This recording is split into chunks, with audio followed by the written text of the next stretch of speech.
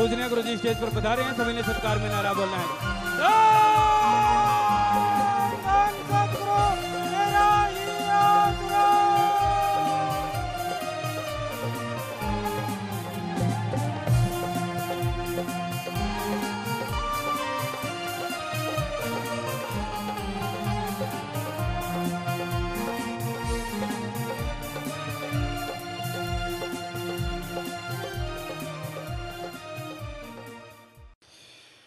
मालिक साजन बाजी, प्यारी सासंग जियो।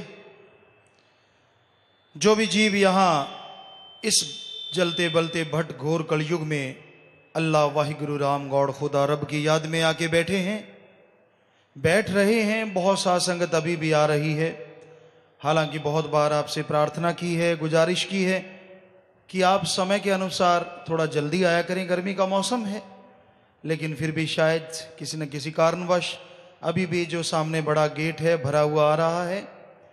तो जो भी घर से चल पड़ता है इस कलयुग में, अपने मालिक की याद में, उसकी हाजिरी तभी से लगना शुरू हो जाती है। और जब तक आप दोबारा घर नहीं पहुँचते, सच्चा मालिक दाता रहबर, वो हाजिरी ज्यों की त्यों लगाता रहता है।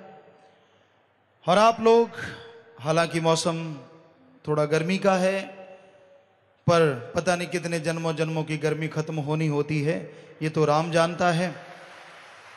किसी चीज़ की परवाह नहीं करते, शेख फरीद जी ने बहुत फरमाया, बहुत लिखा है गलियाँ कीचड़ से भरी हों, कितना भी ज़बरदस्त बरसात हो रही हो, अजी ये तो बात ही कुछ नहीं, जमदूत भी अगर पहरा दें शेर, गर्ज रहे हों, मालिक से प्यार करने वाला मालिक के पास पहुँच के रहता है। तो ये सात संगत भगवान का रूप है, अल्लाह वाहिगुरु राम का रूप है, और आप इस रूप में शामिल होते जाते हैं तो उसी का रूप बन जाते हैं। ये धर्मों का कथन है। हम मान बढ़ाई नहीं देते, पंपिंग नहीं करते। कई कहते पंजाबी च पंप मारता। नहीं, पंप नहीं मार रहे। जो धर्मों में लिखा है, जो हमने पढ़ा है, जो सतगुरु मौला बुलाता है, वो आपकी सेवा में बोलते हैं और सौ परसेंट सच बोलते हैं। क्योंकि हर धर्म में लिखा है साध संगत भगवान का रूप होती है। इसमें कोई दो राय नहीं। मालिक आपको नज़र आए ना आए, पर हमें तो आप सब में मालिक बैठा नज़र आ रहा है। तो भाई, आप यहाँ पधारे हैं, सभी धर्मों के लोग, मालिक की रंग बिरंगी फुलवाड़ी, इस बगिया में सजी है और सज रही है। आप सबका यहाँ पधारने का तह दिल से बहुत बहुत स्वागत करते हैं। जी आयानु खुशामदीद कहते हैं, मोस्ट वेलकम। और प्यारी सासंग जियो, सत्संग शुरू करने जा रहे हैं। उससे पहले बात ख्याल में आई। हम बहुत बार आपको कहते हैं, जो सच्चे सदगुरु मुर्शिद से जुड़ा होता है, उसकी पीढ़ियाँ कुलें तर जाती हैं। ये हम आपको बहुत बार कहते हैं। आज आपके सामने प्रत्यक्ष है। कहते हैं, प्रत्यक्ष को प्रमाण की ज़रूरत नहीं होती। मर्दाना जी की बात आपको कितनी बार सुनाया करते हैं। श्री गुरु नानक देव जी महाराज के जो रागी थे, जो साजी थे, और उनके द्वारा गुरुजी ने पता नहीं कितने खेल खेले।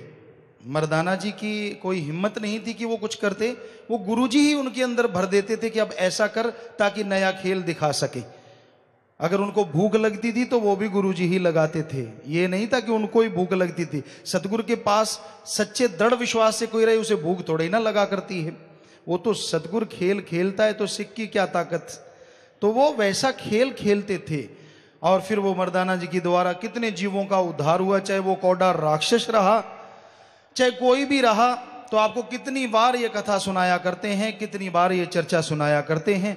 तो आज उनकी सत्तरवीं पीढ़ी जिन्होंने आज रागी ने भजन सुनाया शब्द सुनाया यहाँ पे आए हैं तो इनका बहुत बहुत स्वागत है। आ, बहुत जी आया नु परमात्मा मालिक खुशियाँ बख्शे। क्योंकि सतगुरु ने खुशियाँ तो बख्श रखी हैं, इसमें तो कोई दो राय है ही नहीं। जो सच्चे गुरु के साथ जुड़ा, देखो, हम आपको बोला करते हैं, उसकी पीढ़ियाँ तर जाती हैं। ये तरी हुई पीढ़ियाँ हैं, जो यहाँ पहुँची हैं। कैसे जुड़ी उनके साथ और कैसे अब जुड़ी हुई हैं और कैसे आज वही सच्चा सौदा में ये पधारे हैं या इनके पिताजी पधारे? तो ये अपने आप में बहुत बड़ा उदाहरण है। कई संगत पूछती है, जी, पीढ़ियाँ कैसे तरती हैं? ऐसे तरती है सच्चे सतगुरु का संग करके किस सन में मर्दाना जी हुए श्री गुरु नानक देव जी के मुरीद? और आज देखिए, वो राम नाम की लौ वैसे ही चल रही है और वैसे ही ये पीढ़ियाँ साथ साथ चले जा रही हैं। ये होता है पीढ़ियों का तरना, कुलों का उद्धार। ऐसे आगे पता नहीं कितनी पीढ़ियाँ तरनी आपको कहा है, कलयुग में सतगुरु का कोई सच्चे का संग कर ले तो सैकड़ों क्या हज़ारों पीढ़ियाँ तर जाती हैं, ये तर रही हैं। तो प्यारी सत्संग जियो, ये प्रत्यक्ष उदाहरण है, रही बात हमारी, हम तो आपके खाकसार हैं, चौकीदार हैं, आवाज़ देते रहते हैं, करने वाला मेरा सतगुरु मौला अल्लाह राम वाहिगुरु है। हम तो आपके चौकीदार सेवादार हैं।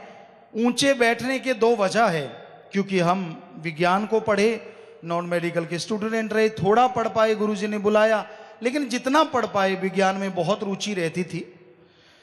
तो विज्ञान में यह माना जाता है, मनोविज्ञान में कि बोलने वाला जब तक सुनने वाले को दिखे ना, सुनने वाले को मज़ा नहीं आता, वो ध्यान से बैठते नहीं, ढंग से चुप नहीं होते, इसलिए ऊँचे बैठे हैं। ये तो है विज्ञान की बात। और रही हमारे महाविज्ञान, धर्मों की बात। तो धर्मों में लिखा है, घोर कलयुग में जो जीव सत्संग सुनने आएँगे वो देवी देवताओं से भी बढ़ के होंगे, उनमें सतगुर मालिक अल्लाह राम विराजमान होंगे।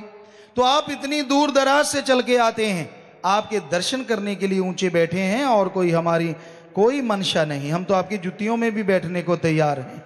हम में कोई घमंड नहीं, कोई अहंकार नहीं। अरे, माइक को क्या अहंकार होगा? ये जो माइक है, इसको क्या अहंकार होगा? ये तो बेचारा चुप है, इधर को कर दिया, क्या बोल रहा है? नहीं बोल रहा। इधर कर दिया तो बोल रहा है। सत्संगत जी, इशारा काफ़ी है। अगर सतगुरु मौला बुलाता है, हम तो माइक हैं, माइक। वो राम, जैसी में आवे, खसम की बाणी, तैसड़ा करी ज्ञान भी ला लो। हम तो एक माइक हैं। वो सतगुरु मौला आवाज़ देता है तो हम बोल लेते हैं, वरना कुछ भी नहीं। कोई ज्ञानवान नहीं, कोई विद्वान नहीं, वो सब कुछ जानता है। वो दया का सागर है रहमो गरम का मालिक है। सो प्यारी सत्संग जियो आपका कोई सवाल हो, आपका कोई क्वेश्चन आप कोई ऐसा सवालात पूछना चाहते हैं जिससे आपके दिमाग में कोई डाउट है, कोई शक है तो आप लिख के भेज दीजिए। दो लाइनें लिख दीजिए, नीचे अपना नाम लिख दीजिए। तो वो आपको बोला, जैसी मैं आवे खसम की बाणी जैसा ख्याल देंगे मालिक, वैसा आपकी सेवा में जवाब दे देंगे। हम कोई विद्वान नहीं, वो सदगुर मौला, सब कुछ जानी जान है। तो आप सब का स्वागत है। जो मर्ज़ी लिख के भेज दीजिए। क्योंकि आदमी से जब आप पूछते हो, अरे, अनाड़ी किसी को पार नहीं लगा सकता। अगर कोई कोच है, उसकी देख रेख में अगर आप तैराकी सीखोगे तो बड़ी बड़े समुंदर पार कर जाओगे। और अगर किसी अनाड़ी के हत्थे चढ़ गए तो छोटी सी झील में भी डूब जाओगे। कहने का मतलब आप आदमी से शंका दूर क्यों करते हैं? गुरु बैठा ही इसलिए होता है, फकीर बैठा ही इसलिए होता है कि हर किसी की शंका दूर कर सके। आप में कोई भी शंका है, मन में कोई भी शक शुबा है, चाहे हमारे लिए है, दुनिया के लिए है, अपने जीवन के लिए है, आप लिख के भेज दीजिए, ताकि यहाँ से जवाब लो। अरे, भेड़ की पूंछ पकड़ के कोई पार नहीं होता और गऊ की पूंछ पकड़े तो पार हुआ जाता है। और पीर, फकीर तो मालिक की कृपा से बताते हैं। सो आपका कोई सवाल है बजाय किसी आदमी से डिस्कस करने के। आप सोचो, ये पचास साल पुराना है वे बीस साल पुराना है, ये दस साल पुराना है, इसको ज्ञान ज़्यादा होगा? ये कोई पता नहीं, गूँगे भी ज़्यादा ज्ञान जानते हैं, जब सदगुरु चाहे तो। पिंगले भी पहाड़ चढ़ जाते हैं, अगर मालिक चाहे तो। तो उस मालिक की रहमत से यहाँ पता नहीं कितने गूँगे बोलने लगे और कितने अंधे देखने लगे हैं, ये उसका रहमो कर्म। हमारी मान बढ़ाई नहीं है। कोई वैसे ही नहीं आता इस कलयुग में। मालिक उन्हें दूसरे रंग भी दिखाता है। उनके काम धंधे चलते हैं, जिनके पास साइकिल था, आज हवा में उड़ा रहे ये उसका रहमो करम है, जो उसके वचनों पे चलता है, उसी का बेड़ा पार है। बाकी सारा संसार बीमार है बीमार है बीमार है। सिर्फ़ उसके नाम से ही बेड़ा पार है। तो भाई, आपकी सेवा में अर्ज़ करते चलेंगे। आपका कोई सवालात, आपकी कोई बात है आ, कोई शक है? अपना ही नाम लिख दिया करो दूसरा का ना लिखो तो अच्छा है। हमने कौन सा लाठी मारनी है? हमने तो जवाब देना है चाहे आप फन्ने खा हैं या नन्हे खा हैं जो मर्ज़ी हैं। आप जवाब ले लीजिए। आपको जज गया तो ठीक नहीं जचता तो ठीक। हमारा तो फ़र्ज़ है आपकी सेवा में अर्ज़ करना। आप हमारी अर्ज़ मान लो तो भला ना मानो हमने तो सबका भला ही मांगना है। पर ख्याल ये रखना है कहीं ये ना हो कि आप न मान के अपने बेड़ी में बट्टे डाल लो। हमें ये दुख नहीं होता कि आप हमारी बात नहीं मानते। हमें ये दुख होता है कि जो मालिक अल्लाह राम हमसे अपने वचन करवाते हैं, आप वो नहीं मानते तो आने वाले समय में भयानक दुख आपको झेलने पड़ेंगे ही पड़ेंगे। क्योंकि माने की गति कहीं ना जाए। मान लो तो फिर जो गति अच्छे में होती है, वो कहने सुनने से परे है। आप अंदाज़ा भी नहीं लगा सकते, इतनी खुशियाँ मालिक घर बैठे ही बख्श देते हैं। सो भाई, आपसे गुजारिश कि आप अमल करना और सवाल ज़रूर भेजो, जवाब भी ले लो, लेकिन उस पर चलना सीखो। तो आज का भजन, आज का शब्द, जिस पे आज का सत्संग है तो वो भजन शब्द है जी, तन साफ़ बनाते हो मन साफ़ बनाया करो, तीर्थ है सबसे बड़ा, सत्संग में आया करो। अरे दुनिया को रिझाते हो, मालिक को रिझाया करो, अल्लाह को रिझाया करो, वाहिगुरु को रिझाया करो। तो सच्चे दाता, रहबर मौला मालिक शास्त्रनाम जी महाराज के ये पवित्र वचन इसी पे आज व्याख्या आपकी सेवा में उनके रहमो करम से करेंगे जी। तन साफ़ बनाते हो। आदमी सजता है संवरता है, कितना कुछ करता है। क्योंकि ये आधुनिक युग है। हमने देखा, सत्संग करते करते कई बार शहरों में घूमते रहते हैं, दुकानों में घूमते रहते हैं। बड़ा लटरम पटरम है चेहरे को सजाने के लिए। बड़ा कुछ है, बाल कैसे सजाओगे, शरीर कैसे सजाओगे, बहुत कुछ है। और मेनली शरीर सजाता है स्त्री और पुरुष। पुरुष सजाता है स्त्री के लिए और स्त्री सजाती है अपने पिया के लिए, अपने मुर्श, अपने खसम के लिए कह लें, लेकिन खसम शब्द अच्छा नहीं लगता। वो तो वाहिगुरु राम के लिए है। तो एक दूसरे के लिए पति पत्नी अपने शरीर सजाते हैं, संवारते हैं और कई बार पति खुश होकर कह भी देता है, आप बहुत खूबसूरत हैं। या पत्नी कह देती है, आप खूबसूरत हैं। आप फूल के कुप्पा हो जाते हैं। वाह! मेरी तारीफ़ हुई, और सजते हैं अगले दिन, और संवरते हैं। यहाँ पे एक बात और कहने से हमसे रहा नहीं जा रहा। पति पत्नी का तो चलो ठीक है, आज इतना गंदा युग है, इतना घोर कलयुग है कि यहाँ लड़का लड़के के लिए सज रहा है और लड़की लड़की के लिए सज रही है, जिसे समलैंगिकता कहते हैं। हद से ज़्यादा गुना हद से ज़्यादा पाप। तो सजते हैं एक दूसरे के लिए। कितनी की देर खुशी है? एक बार कह दिया, तू सुंदर लग रहा है। बस, खत्म। अरे, ये तन साफ़ बनाते हो। कभी मन को साफ़ बनाओ सच्चे खसम के लिए। अगर उसने एक बार कह दिया खूबसूरत हो तो दोनों जहान में आपसे खूबसूरत कोई हो नहीं सकता। उस खसम के लिए, जो दोनों जहाँ का मालिक है, खसम हमारे निगाह से हमारे नज़रिए से शब्द का अर्थ है मीनिंग्स है, जो हर दिल को खस्ता कर दे, जो हर दिल को कायल कर ले, जो हर दिल में पागलपन भर दे अपने प्यार मोहब्बत का, दया में रहमत का, खुशियों का, और ऐसे दोनों जहाँ के रहमो करम का। वो सच्चा खसम है। आदमी को खसम नहीं कहा जा सकता। ये तो एक घर को खुश नहीं रह सकता। सौ में से निन्यानवे घरों में तो जुत्तम पेल होता रहता है, जुत्तम परेड होती रहती है। काहे का खसम? एक एक दूसरे को खुश नहीं कर पाता। और वो मालिक सच्चा खसम है, जिसे गुरु सहवानों ने, पीर पैगंबरों ने खसम पिया। या मेरा मौला बहुत सारे नाम दिए हैं और वाकई वही सच्चा है। जो प्यार, मोहब्बत का प्याला पिला देता है, वही सच्चा पिया है। जो पिला के भी हमेशा जिया में रहमो करम बरसाता है, वो सच्चा पिया है।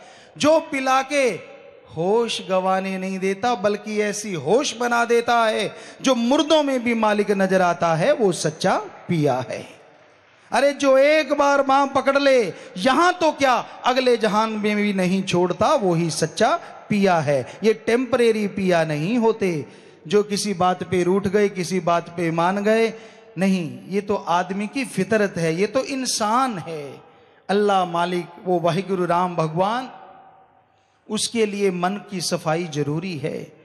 तन की सफ़ाई ठीक है, करनी चाहिए, लेकिन यहाँ कहने का मतलब है, अपने अंदर का कचरा साफ़ करो। लोग माड़ा घुमाते हैं। जिसे हिंदू धर्म में माड़ा, इस्लाम धर्म में तस्वी, सिख धर्म में सिमरणी अलग अलग धर्मों में अलग अलग नाम है।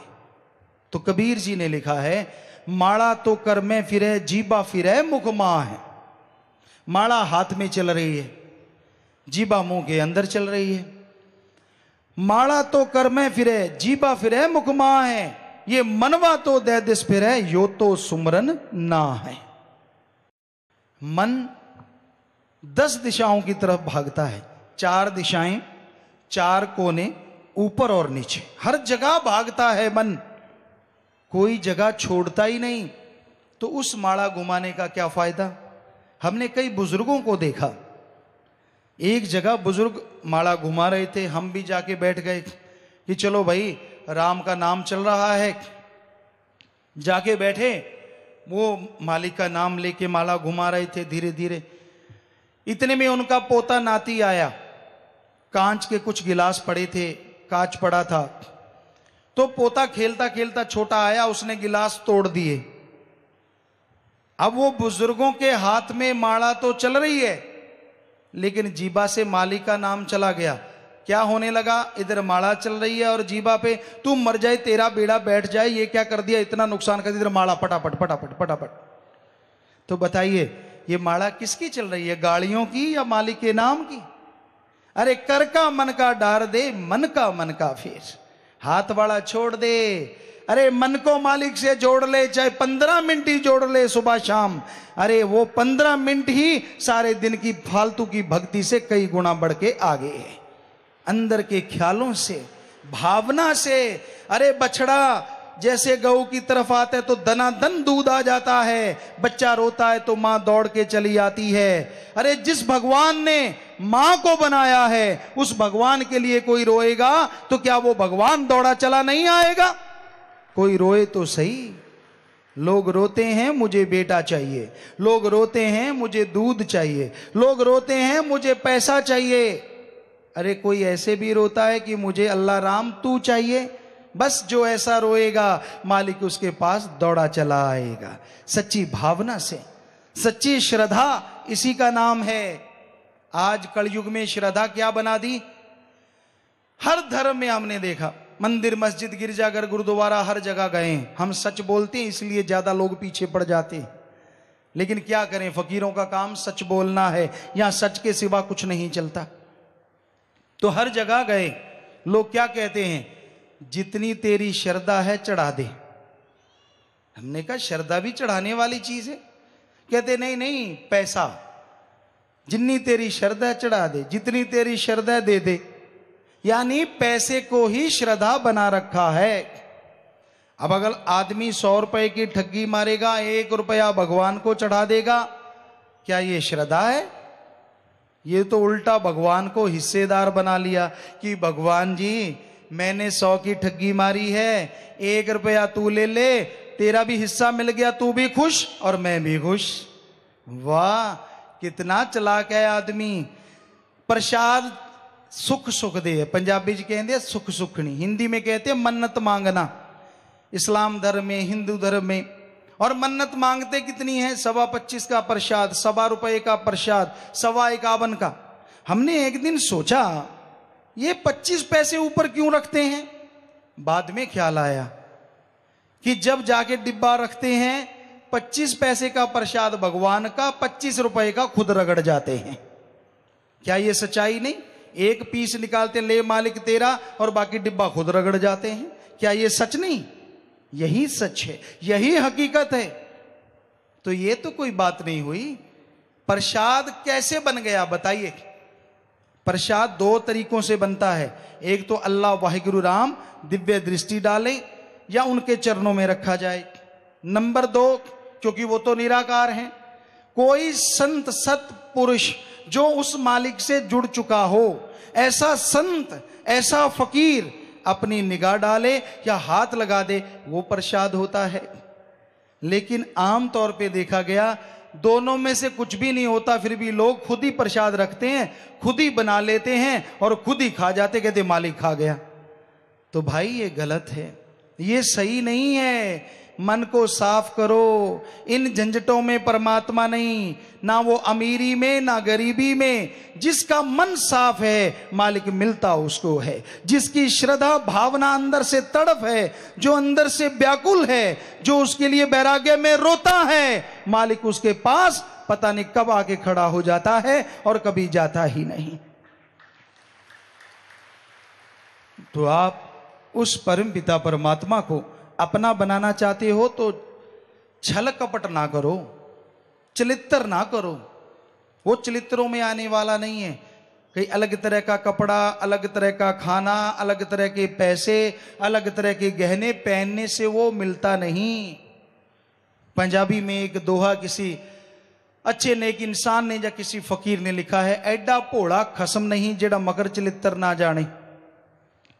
वो इतना बोड़ा होता तो लोग बेच के खा जाते ਐਡਾ ਭੋਲਾ ਖਸਮ ਨਹੀਂ ਜਿਹੜਾ ਮਗਰ ਚਲਿੱਤਰ ਨਾ ਜਾਣੇ ਇਹਦੇ ਘਰ ਵਿੱਚ ਉਹੀ ਉਹ ਬਸ ਸਕਦੀ ਜਿਹੜੀ ਸਭ ਚਤਰਾਈਆਂ ਭੁੱਲ ਜਾਵੇ जो सारी छल कपट छोड़ दे सारे नाटक ढोंगबाजी करना छोड़ दे उसी को सदगुरु का प्यार हमेशा कलयुग में मिलता रहेगा जितने त्रिया चलित्र जितने छल कपट आप करते रहोगे, उतना मालिक से दूर होते जाओगे। ये कोई नाटक मंडली नहीं है।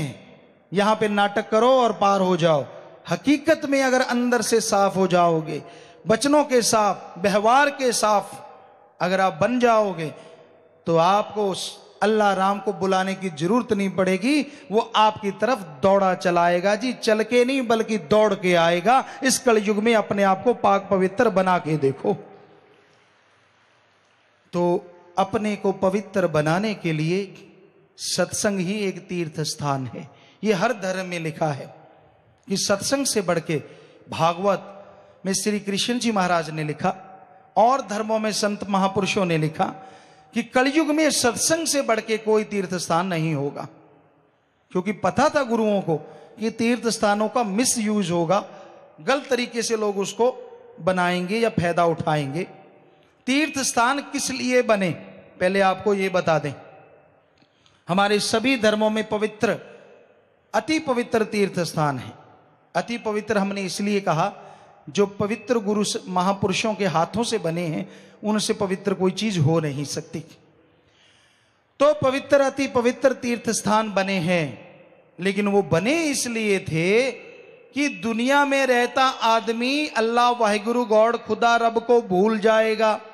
जब तीर्थ स्थान पे आए, डुबकी लगाए तो उससे अपना अल्लाह वाहिगुरु राम याद आए और वो घर में जाके मालिक को फिर से याद करने लग जाए। जैसे दूध को जाग लगा देते हैं, वैसे राम नाम की जाग लग जाए और वो फिर से मालिक को याद करने लग जाए। बने तो इसलिए थे, पर आज हम बहुत जगहों पे गए हैं। कई जगहों पे तो लिस्ट लगी हुई है। सिर दर्द है तो पचास रुपए, ज़्यादा बुखार रहता है तो सौ रुपए पेट दर्द है तो हज़ार रुपया, फलाना दर्द है तो पाँच हज़ार, ये कैंसर जैसा रोग है तो पच्चीस हज़ार, चढ़ाओ और मालिक की रहमत को पाओ। बड़ी हैरानी होती है। पैसा लिया जाता है। क्यों? हम चैलेंज करते हैं शरेआम। हमने सारे धर्म पढ़े हैं। हमारे हिंदू धर्म के पवित्र वेद, शास्त्र, गीता, रामायण, महाभारत महाभारत को पांचवा वेद कहते हैं। सिख धर्म की पवित्र गुरबाणी इस्लाम धर्म की पवित्र कुरान शरीफ, कुरान मजीद और ईसाई धर्म की पवित्र बाइबल। शेख फरीद, नामदेव, धन्ना, भगत कबीर जी, रविदास जी, जितने भी संत पैगंबर आए, उनकी वाणी को पढ़ा, जीवन को पढ़ा, पढ़ रहे हैं। कोई भी पवित्र ग्रंथ मिल जाता है, उसे पढ़ लेते हैं। सभी को पढ़ा और पढ़ के रिसर्च निकाला। हर धर्म कहता है, ओम अल्लाह वाहिगुरु, गॉड दाता था दाता है और दाता ही रहेगा। ये लिखा हुआ है। सभी धर्मों में किसी में नहीं लिखा कि परमात्मा लेता है। सभी धर्म कहते हैं, जो मांगे ठाकुर अपने से, सोई सोई देवै। लेवै नहीं, देवै। फिर क्यों ले रहे हो भाई उसके नाम पे? क्यों गठरियाँ उठा रखी हैं? क्यों? इस क्यों का जवाब ही तो मुरोड़े लगा देता है। क्योंकि ग्रंथों में तो लिखा नहीं कहीं पैसा लेना चाहिए। जब वाहिगुरु राम नहीं लेता, उसका संत पीर फकीर लेगा, ये किस पवित्र ग्रंथ में लिखा है बताओ। मांगन मरन समान है, मत कोई मांगो भीख। मांगन से मरना भला, ये सदगुरु की सीख। तो मांग के नहीं खाना चाहिए, कभी भी। गुरु सहवानों की बाणी में भी लिखा है, आप ध्यान से सुनिए, शायद श्री गुरु नानक देव जी महाराज की बाणी है।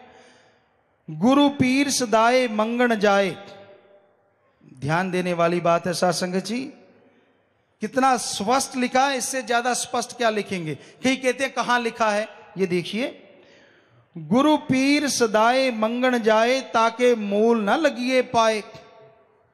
गुरु पीर बनता है, गुरु का मतलब होता है, गु का मतलब अंधकार और रू का मतलब प्रकाश।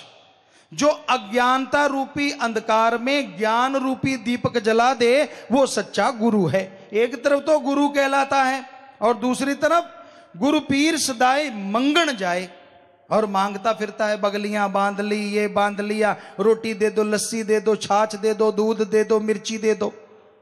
जगह जगह मांग रहा है, शर्म नहीं आती। गुरु सहवान क्या कह रहे हैं? ताके मूल ना लागी पाए। कहते उनके पाँव की तरफ़ झुकना जाना। जो खुद मांग रहा है, मंगता तो बना सकता है, दाता नहीं बना सकता। घाल खाए कुछ हथों दे, घाल खाए कुछ हथों दे नान करा पछाणिए से। कि जो खुद अपने हाथों से किर्त कमाई करे, मेहनत करे, और उस मेहनत की कमाई से दूसरों को खिलाए, ऐसा गुरु मिले तो समझ लो वो पूर्ण गुरु है, उसके चरणों में झुक जाओ, आपके सामने सारी दुनिया की खुशियाँ झुक जाएँगी। तो बहुत बड़े वचन गुरु सहवानों ने फरमाए हैं। पर यही सच्चे वचन जब सुना देते हैं, लोग बड़ा हम पे क्रोध करते हैं, बड़ा गुस्से होते हैं। इसी की एक आपको बात कई बार सुनाई है। छत्तीसगढ़ में एक जगह है, जंक्शन है रेलवे स्टेशन का, अनूपपुर। बहुत बड़ा जंक्शन है। तो हम सत्संग करके आ रहे थे शाम का सत्संग वहाँ रख दिया कि चलो भाई, यहीं से ट्रेन चढ़ना है। तो बुल्ले शाह वाली बात, इट खड़के टुकड़ बजे नाले तपे चुल्ला, नाले मेरा साई राजे, नाले राजे बुल्ला। कि चलो, चढ़ना तो है ट्रेन पे, क्यों ना जाते जाते सत्संग भी कर दें इस शहर में। सत्संग रख दिया, और बहुत लोग आए। बहुत लोग। छोटा रह गया पंडाल। सेवादारों को उम्मीद नहीं थी, उससे बढ़ के लोग आ गए रामनवमी थी उस दिन। हमने सत्संग सुनाया, ये चर्चा सुनाई कि मालिक कुछ लेता नहीं, देता है। अब ट्रेन तो नौ बजे की थी, लेकिन आई एक बजे। आपको पता ही है, क्या बताएँ? तो हम वहाँ बैठ गए। एक सज्जन ने पर्ची भेजी, सज्जन मिले। वो पुजारी जी थे। हमने कहा हाँ जी, बोलिए, सुनाइए हमारे लायक कोई सेवा। पुजारी साहब तो वो थोड़े गर्म थे, ढीले से हो गए। कहने लगे गुरु जी आपने ये क्या कर दिया? हमने कहा, हमने क्या कर दिया? कहते, आपने सत्संग क्यों किया? हमने कहा, एक फौजी से पूछो, लड़ा क्यों? तो फौजी की तो ट्रेनिंग ही लड़ाई की है। हमारा तो काम ही सत्संग लगाना है। गुरु जी ने ट्रेनिंग ही ये दी है। कहता गुरु जी वो तो ठीक है। मैं मंदिर का पुजारी हूँ, आज रामनवमी है। हमने कहा, हमने तो मंदिर, मस्जिद, गुरुद्वारा, गिरजाघर के खिलाफ कभी बोलते नहीं। किसी धर्म के खिलाफ नहीं बोलते। कुरीतियाँ बुराइयों के खिलाफ बोलते हैं। तो क्या लोग मंदिर में नहीं आए? कहता गुरु जी आगे से ज़्यादा आए। तो फिर तुझे गुस्सा किस बात का? कहता गुरु जी आए तो आगे से ज़्यादा, पर आए सारे खाली हाथ। कुछ लेके ही नहीं आए? हमने कहा, क्यों? कहते, वो कहते गुरु जी ने कहा है, भगवान तो देता है, लेता तो है ही नहीं, हम तो भगवान से लेने आए हैं। हमने कहा, पुजारी जी, उन्होंने गलत कहा। कहता, कहा तो सही है, पर हम रोटी किधर से खाएँगे? हमने कहा, इतनी तोंद बढ़ा रखी है, कोई काम धंधा कर ले। रोटी जितने तो बना लेगा। अरे, पत्थरों में जान दे देता है वो। पत्थरों में। यहाँ श्री गुरु नानक देव जी गए थे महाराष्ट्र में, हम भी गए सत्संग करने। वहाँ रात को सो गए। सभी लोग धरती पे सेवादार सो गए। हमने जाते ही एक पत्थर उठाया, पाँच बिच्छू। इतना बड़ा पत्थर था। उठा के देखा, नीचे पाँच बिच्छू। हमने बताया नहीं, सेवादार सो गए राम से थके हुए तीन तीन सत्संग होते थे। तो सुबह उठे हमने सारे सेवादारों को बुलाया कि सारे पत्थर उठा के देखो, जो भी पत्थर उठाए, छोटा, बड़ा, नीचे बिच्छू ही बिच्छू, नीचे भी पत्थर, ऊपर भी पत्थर। उनको खाने का कौन देता है, पुजारी जी? जो उनको दे सकता है। अरे, आप तो श्रेष्ठ जून मनुष्य हैं। कुछ मेहनत करो, भगवान आपको भी दे देगा। अरे, भगवान के नाम पे लूटो ना। तो उनकी आँखें तो खुली पर माना नहीं माना ये राम जाने। सो आज कलयुग में इतना बुरा हाल है। हमने तो किसी धर्म में नहीं पढ़ा कि अल्लाह, वाहिगुरु, गॉड, खुदा, रब लेता है। हर धर्म कहता हिंदू धर्म में, पवित्र वेदों में हमने पढ़ा, भगवान से मांगो। क्या मांगो? अच्छी धरती, अच्छी हवा, अच्छी तंदुरुस्ती, अच्छी संतान अच्छा पानी भगवान से मांगो, अरे और मांगना है तो भगवान से भगवान को मांगो। इस्लाम धर्म में यह लिखा हुआ मिलता है, अल्लाह के बंदो, अल्लाह रहमो करम का मालिक है। अरे कायदे से मांगोगे, उसका कलमा अता करके मांगोगे तो वो रहमो करम मुसलाधार बरसाएगा। अरे ऐसा मुसलाधार बरसाएगा कि दामन छोटे पड़ जाएँगे और रहमो करम बरसता चला जाएगा। ईसाई धर्म में लिखा, गॉड देता है, लेता नहीं, बात ही खत्म। तो फिर आप किसके नाम पे और क्यों लेते हैं? अगर मांगना है तो सीधा मांगो कि मुझे भूख लगी है, मेरे को दो, कोई देगा नहीं, इसलिए भगवान का नाम लेते हो। और सच्ची बात सुनाते हैं तो फिर फतवे लगाते हो तरह तरह के। सच तो बोलने से रुका नहीं जाएगा। जब सतगुरु ने बिठाया ही सच बोलने के लिए, हम थोड़ी ना बोल रहे हैं। आपको बता चुके हैं जो बोलने वाला है, हम तो माइक हैं बस। वो बुला रहा है। तो ये सच है कि भगवान दाता था, दाता है और दाता ही रहेगा। जो चतुर चलाकी आप करते हैं ना, वो पल पल की खबर रखता है। हर क्षण की खबर रखता है। वो इतना भोला नहीं है जो आपके झांसों में आ जाए, आपके चरित्रों में आ जाए, वो नहीं आने वाला। तो प्यारी सासंग जी, बात पे बात ख्याल में आ जाती, किसी ने पत्थर डाला था। हम साथ ले गए जब आप सत्संगों में गए वेस्ट बंगाल साइड में तो उसमें लिखा था कि गुरुजी कई लोग ये कह देते हैं, मुझे दर्शन हुए सतगुरु के चाहे बेपरवाह साईं मस्ताना जी के, परम पिता जी के, या इस शरीर में देना तो भगवान मालिक सतगुरु ने दर्शन है। वो किस शरीर को चुनता है, ये उसकी मर्ज़ी है। वो उसको चुनता है जो उससे एक हो चुका होता है, दूसरे को तो चुन ही नहीं सकता। तो दर्शन हुए और लोग नजायज फ़ायदा उठाते हैं। सात संगत जी, ध्यान से सुनने वाली बात है। क्या कह देते हैं, मुझे सतगुरु ने दर्शन दिए, तू मेरी सकी बहन, तू मेरा सका भाई, तू मेरी सकी माँ तू पिछले जन्म का बाप। ऐसे कहने वाले सौ परसेंट झूठे थे, झूठे हैं और झूठे ही रहेंगे। सब बकवास। आपसे रिश्ता जोड़ने के लिए, आपको ठगने के लिए ऐसा हो सकता है। सतगुर रिश्ता जोड़ता है अल्लाह वाहेगुरु राम से। अरे गंद के पुतले बंदे से रिश्ता की जुड़वा के उसने क्या लेना है? ये सब फालतू की बातें हैं, ये फजूल की बातें हैं, इसमें कोई ना कोई वजह है, या तो वो आपके वचन तोड़वाएगा, या खुद वो बुरा है, कामी क्रोधी कीड़ा है, जो आपको लूटना चाहता है। ऐसे लोगों के पीछे जो सत्संगी लगते हैं, आप डुबेंदे बामणा जजमान भी डूबे। वो आप डूबेंगे जो ऐसा बोलने वाले हैं, और जो उनके साथ उनका विश्वास करेंगे, वो भी डूबेंगे। सो ऐसे किसी के पीछे ना लगा करो। क्योंकि सतगुरु मौला अगर दर्शन देगा तो वो सचखंड निज धाम सतलोक के नजारे दिखाएगा। अरे वो अंतरिक्ष की शहर करवाएगा। अरे वो पार ब्रह्म ले जाएगा। वो गंदगी के पुतलों से जोड़ के उसने क्या लेना है? ये तो आदमी की चलाकी है जो जीवों को फंसाता है। ऐसे लोगों का हाल बेहद बुरा होगा। बेहद बुरा, जो गुमराह करते हैं। बेप्रभा जी ने फरमाया, गऊ को पेड़ा देना और पेड़े के पीछे लगा के कसाई को सौंप देना। ऐसे कर्म हैं जो लोग ऐसा करते हैं। सतगुरु का नाम लेना और अपना मतलब निकालने के लिए उनका प्रयोग करना, ऐसे लोगों का हशर अति भयानक होने वाला है। कई बार हो चुका है, कई ढीठ है, वो नहीं मानते। उनका हाल बुरा हो चुका है, लेकिन वो सोचते हैं कि नहीं, वो तो वैसे ही था, कर्म कट गया, कोई बात नहीं। वो देख रहा है हंसदे ने खिलखिल जेड़े, रोवणगे यार कल जमाने लेखा लेना, फड़के तलवार कल लो। आज बुरे कर्म करके हँसते हो ना, मालिक को बुद्धू बना के हँसते हो, अरे हंसना तो क्या, तेथो रोया भी नहीं जाना। इसलिए ऐसे ही उम्मीद ना कर, ऐसे कर्म ना कर, कर्म करे खोटे पड़ेंगे बड़े सोटे, फिर पूछनी नहीं किसी ने बात रे। मत कर बुरे कर्म, मत कर खोटे कर्म। ठीक है, राम नाम अच्छा नहीं लगता, कोई बात नहीं। सुमरन करता रहे, सेवा अच्छी नहीं लगती, कोई बात नहीं। सुमरन कर, वो तो तेरा तेरे कुलों का उद्धार करेगा।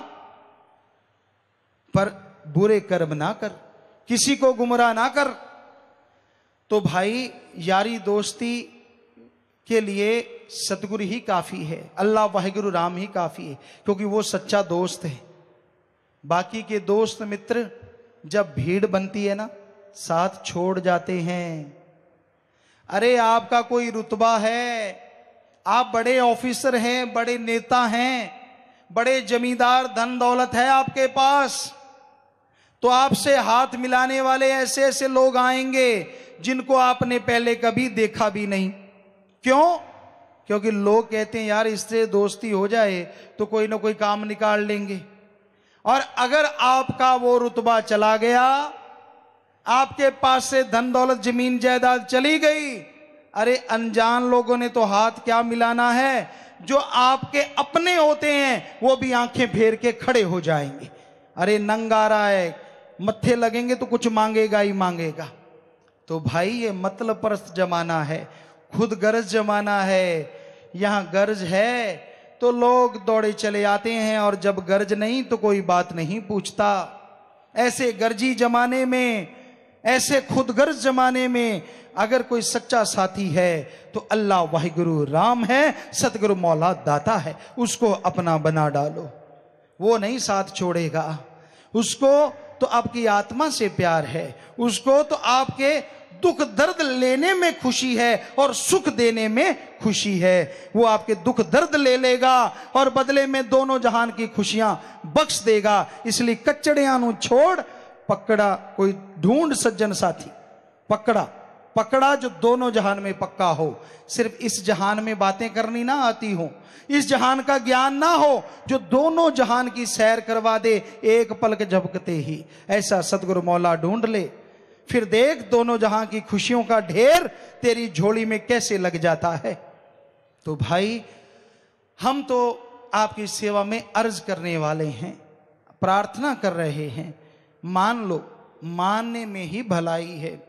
मानोगे तो खुशियाँ हैं और ना मानोगे तो भाई अपने कर्मों का बोझ उठाना पड़ेगा।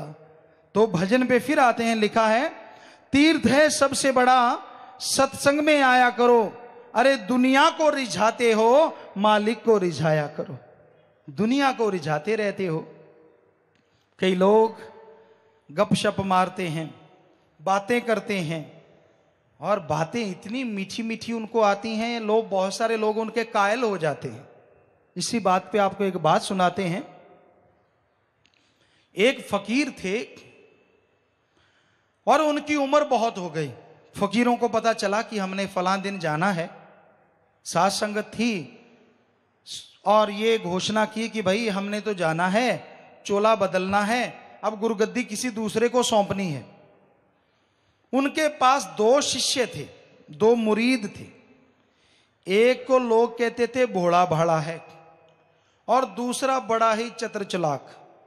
संगत आती, उनके पास बैठ जाना, लोगों को खाना खिलाना, चाय पिलानी, दूध पिलाना मीठी मीठी बातें करना, और लोगों को बताना कि मैं ही पिला रहा हूँ। हालाँकि सब कुछ सतगुरु के खजाने से, लेकिन मान बढ़ाई, लोगों में बातें कर करके कर करके कर करके अपनी जगह बना ली। जब गुरु जी ने यह कहा कि साथ संगत बताओ, कौन सा शिष्य गुरगद्दी के काबिल है? तो साथ संगत बेचारी क्या बताए? कहती, है गुरु जी अंधा आँखों वाले को कैसे पकड़ सकता है? आँखें वाला ही आँखों वालों और अंधों को पकड़ सकता है। हम तो अंधे हैं। हमें नहीं पता कौन गुरुगद्दी के काबिल है। आप गुरु हैं, आप तो हम अंधों को पकड़ सकते हैं तो जिसकी आपने आँखें बनानी है, उसको भी आप ही पकड़ो। तो गुरु जी मुस्कुराए। कहने लगे, चलो ठीक है, शाम को बताएँगे। शाम को गुरु जी आए। सारी संगत थी, वो दोनों मुरीद थे।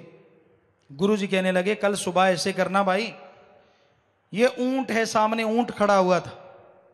ये ऊँट है ये लकड़ी की सीढ़ी है। उन दोनों को खड़ा कर लिया अपने शिष्य, मुरीद सतब्रह्मचारी जो भी मानो। खड़े हो जाओ। ये सामने मकान है। ये लकड़ी की सीढ़ी लगा लो। सुबह लग जाओ। ऊँट को पकड़ के छत पे चढ़ाना है लकड़ी की सीढ़ी के द्वारा। दोनों ने सिर झुकाया, गुरुजी चले गए। मजलिस खत्म। अगले दिन सुबह मजलिस हुई, गुरुजी चले गए। तो जो बातें करने वाला था, वो तो आराम से बैठ गया। बातें कर रहा है तरह तरह की सास संगत भी हंस रही है। लेकिन जिसे भोड़ा कहते थे, उसने ऊँट को पकड़ा, खींचा, सीढ़ियों पे खुद चढ़ गया और ऊँट को सीढ़ियों पे चढ़ाए। तो वो संगत बैठी तालियाँ मारे, जो मुरीद दूसरा था, वो भी तालियाँ मारे, कहते, वो तो पागल है। कभी सीढ़ियों के द्वारा ऊँट छत पे चढ़ता है? सारे तालियाँ मार रहे हैं। लेकिन वो लगा हुआ है, पसीना आ गया, रोटी नहीं खाई पानी नहीं पिया, चाय नहीं पी, दूध नहीं लिया। सुबह से लगा, दोपहर हो गई, धूप चिलचिलाती आ गई, पसीने से नहा गया। ऊँट भी बुरा हाल हो गया। ऊँट सोचे, ये पागल है क्या? ऊँट सोचे, मैं चढ़ूं तो चढ़ूं कैसे? और मुरीद को तो कुछ लेना देना नहीं था, कहता, चल, चढ़ना ही पड़ेगा। अब दोपहर भी गुजर गई, शाम आ गई, दोनों का बुरा हाल, लेकिन मुरीद में जोश पूरा। ऊँट को खींचे, चल, चढ़। वो चढ़े ना, फिर वापिस हो जाए। फिर खींचे, चढ़। फिर वापिस हो जाए।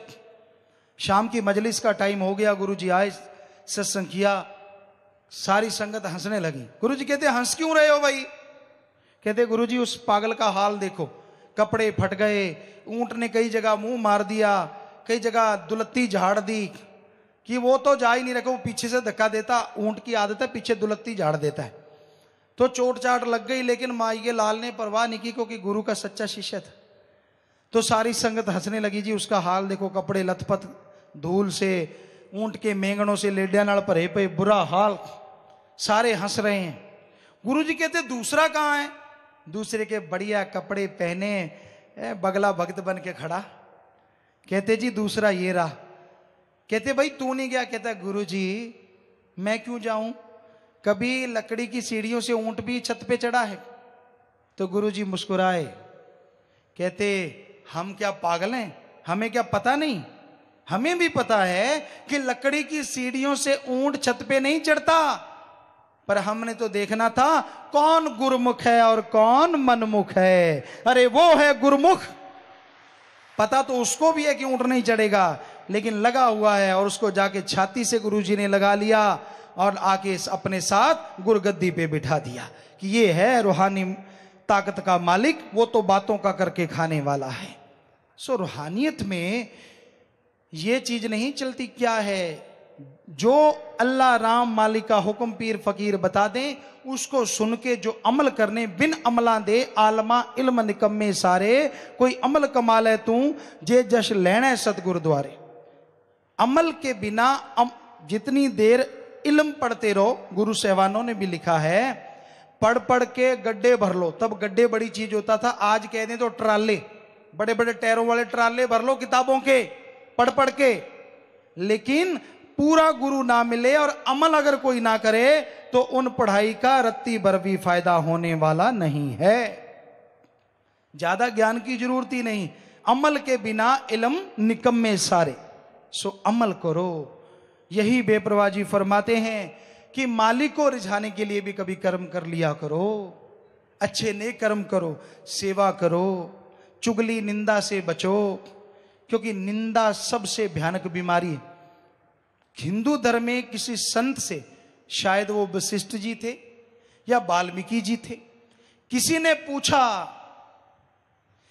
कि हे संत, हे गुरु जी सबसे बड़ी महापाप कौन सा है जिसे आदमी बहुत जल्दी कर लेता है? तो उन्होंने एक अल्फाज में, एक शब्द में जवाब दिया पर निंदा कि सबसे जल्दी होने वाला पाप, जो बहुत सेकंड में आदमी कर लेता है और बहुत बड़ा महापाप बन जाता है, वो है पर निंदा किसी की निंदा ना करो। प्यारी सासंग जियो जो आप गाते हो, वो आपके अंदर से चला जाता है। और जिसको आप देखते हो, वो आपके अंदर आ जाता है। अपने गुण ना देखो, क्योंकि गुण ना गाओ खुद के। खुद के गुण गाओगे तो चले जाएँगे। इसलिए खुद के तो अवगुण गाओ, ताकि वो चले जाएँ। और दूसरों में गुण देखो, क्योंकि जो देखोगे, वो आपके अंदर आ जाएगा। चाहे सौ अवगुण हो, पर एक आधा गुण हर इंसान में ज़रूर होता है। आपकी निगाह, साधु संत ऐसा चाहिए, भक्त ऐसा चाहिए, जैसे सूप सुभाए सार सार को चुन ले, थोथा दे, उड़ाए। छाज छजली जड़ी हुंदी है। सूप कहते हैं, संतों ने उससे कहा, साधु, भक्त ऐसा चाहिए, जैसे सूप सुभाए। माता बहने भाई लोग जब आटा पिसवाते हैं, गाँव में जानते हैं तो गेहूँ को पहले छांटना पड़ता है। हमने खुद किए हैं ये कर्म, अब भी कर लेते हैं। बहुत सारे कर्म करके ही खाते हैं सतगुरु ने सिखाया ये। तो यूँ यूँ छाछ को पकड़ के एक अंदाज से हिलाना होता है। और जब उसको हिलाते हैं तो थोथे थोथे दाने उड़ जाते हैं हवा में। और जो मोटे दाने हैं, छाछ अपनी तरफ़ खींच लेता है। ऐसे ही एक भक्त को चाहिए, दूसरों के अवगुणों को अपने अवगुणों को उड़ा दो और दूसरों के गुणों को ग्रहण कर लो। आप गुणवान बन जाओगे और मालिक के प्यारे अच्छे नेक इंसान बन जाओगे। तो मालिक के नूरी स्वरूप के दर्शन होंगे तो उसके रहमो करम के काबिल बन जाओगे। तो मालिक को रिझाने के लिए भी कुछ किया करो, दुनिया को रिझाने के लिए, पता नहीं कितनी ठगियाँ मारने के लिए अपने नंबर बनाने के लिए, अपने अहंकार को बड़ा, अपने आप को बड़ा साबित करने के लिए लोग हमारे सामने भी बड़ी बड़ी बातें करते हैं। बड़ा मसाला लगा लगा के सुनाते हैं। हम हाँ जी हाँ जी हाँ जी हाँ जी। क्योंकि किसी का पर्दा उठाना संतों का काम नहीं होता। अब सत्संग है, इसमें तो पर्दे उठाने ही पड़ते हैं। किसी को यह नहीं लगता कि मेरे को कह रहे हैं। जिसको कह रहे हैं पसीने तो उसको छूटते हैं।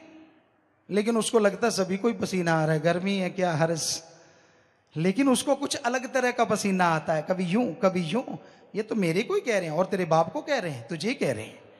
अब कमी तेरे में तो तेरे को ही बोलेंगे भाई। तो ऐसा होता है कि आदमी के अंदर कमी है, वो अवगुण करते, या तो उसका मुँह चिलम जैसा हो जाता है। चिलम, आप जानते हैं, राजस्थान में होती है। तंबाकू डाल के लोग थे उसका मुँह छोटा सा होता है, कहने का मतलब। मुँह यूँ हो जाएगा। उसमें ना तो पौने चार बजते हैं, ना दस दस होते हैं, ना सवा नौ बजते हैं। अजीबो गरीब हो जाता, गोल गोल, शून्य। मैं मैं मैं, छोड़ूँगा नहीं, जितनी मर्ज़ी कह लो। करता रहे भाई। करता रहे, जब भरेगा तब ना कहना कि मुझे बचाओ। तब भी फिर भरता रहे। तो ऐसा भी देखने में आता है। तो क्यों ये मुँह का आकार बदसूरत करते हो? क्यों नहीं मानते? बताओ, क्यों नहीं मानते? हम तो हाथ जोड़ जोड़ के, आपके सेवादार, चौकीदार बन के आपसे प्रार्थना करते हैं। छोड़ दीजिए। मालिक आपको खुशियाँ दे। छोड़ दो बुरे कर्म, छोड़ दो अवगुण।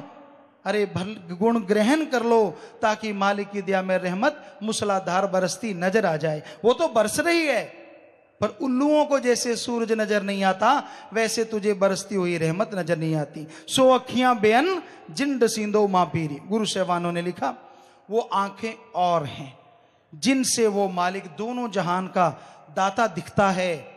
आँखें तो यही हैं, इनमें राम नाम का सुरमा डालो। इनको बंद करके जब अंदर ये आँखें खुलेंगी तो सच ही सच दिखाएँगी, फनाकारी चीज़ों से बचाएँगी, और जो हमेशा लासानी है, जो दोनों जहाँ का मालिक है, उससे मिलवा देंगी। तो भाई, वो राम नाम का तरीका, वो युक्ति, हमेशा हम आपको सत्संग के बाद बताते, जिन्होंने ले रखा है, किया करो सुमरन। उसको अलमारी में रख के ना छोड़ो। घी दूध पड़ा है, माथा टेकने से नहीं, खाने से ताकत आती है। वैसे राम नाम जपने से ताकत आती है, सिर्फ़ लेने से वचन है सतगुरु के कि आवागमन तो खत्म होगा, पर यहाँ की खुशियाँ नहीं हासिल होंगी। इसलिए सुमरन करना ज़रूरी है। तो इस बारे में संत महापुरुषों की जो बाणी है, आपको सेवादार पवन खान जी पढ़ के सुनाएँगे। बोलिए भाई। धन धन सतगुरु, तेरा ही आसरा, नीच ख्यालों को पाक साफ़ करने के लिए सत्संग से बढ़कर सारी दुनिया में कोई मशीन नहीं, नेक सोहबत में इंसान नेक हो जाता है और सब ए पाप धुल जाते हैं। जैसा करो संग, वैसा चढ़े रंग। जमींदारों में एक बात मशहूर है कि खरबूजे को देख के खरबूजा रंग पकड़ता है। हालाँकि ये कहावत है, लेकिन हकीकत है कि आदमी जैसा संग करता है, उस पे रंग लाजमी चढ़ जाता है। कई लोग अपना ज्ञान सुनाते हैं, जैसे शराबी, कबाबी, आप उनका संग करोगे तो वो रंग चढ़ाते हैं। ऐसे ही एक बात आपको कई बार सुनाई है कि एक सज्जन शराबी थे, सुबह से शाम तक शराब पीते थे। उनका एक नाती, एक भतीजा उनके पास आया। कहने लगा, चाचा, मुझे कई दिनों से जुखाम है। नजला बंद नहीं होता। तो चाचा ताया कौन सा कम था? कहने लगा, बेटा, पैग मार। पैग बना रखा है, पैग मार। सारा नजला उड़ जाएगा। वो पढ़ा लिखा नौजवान था। कहता, ताऊ, हे चाचा, ऐसे कैसे संभव है? शराब से भी कभी नजले ठीक हुए हैं जुकाम ठीक हुआ है? मेरा ऐसे नजला नहीं उड़ेगा। तो आगे खरड़ ज्ञान सुना रहा है ताया। कहता हुए मैं पैग मारता हूँ। पाँच मरबे थे, पाँच बिग्गे रह गए, सारे उड़ गए। तेरा छोटा सा जुखाम नहीं उड़ेगा? देखो, उल्टा ज्ञान कि मेरे पाँच मरबे उड़ गए। तेरा जुखाम नहीं उड़ेगा कि मैं तो बर्बाद हो गया, तू आवाज़ क्यों है? तू भी बर्बाद हो जा। तो ये सब संग का रंग। उनकी सुनोगे तो रंग चढ़ेगा ही चढ़ेगा। वो तो बातें ऐसी सुनाते हैं, कहने सुनने से परे। अरे पैग मार के देखो, दिल बड़ा हो जाता है, डर नहीं लगता, फला होता है। और ऐसों का टट्टी पिशाब बिना डर के निकलता, हमने कपड़ों में देखा है। तो भाई, इस संग का रंग लाजमी चढ़ता है। अच्छे नेक लोगों की सोहबत करो, भले पुरुषों का संग करो तो भले बन जाओगे। तो आगे आपकी सेवा में अर्ज़ करेंगे तो साथ साथ भजन, शब्द चलता चलेगा। सेवादार भाई सब लोग आपको मिलकर सुनाएँगे और साथ साथ हम आपकी सेवा में अर्ज़ करेंगे। हाँ जी, चलिए भाई।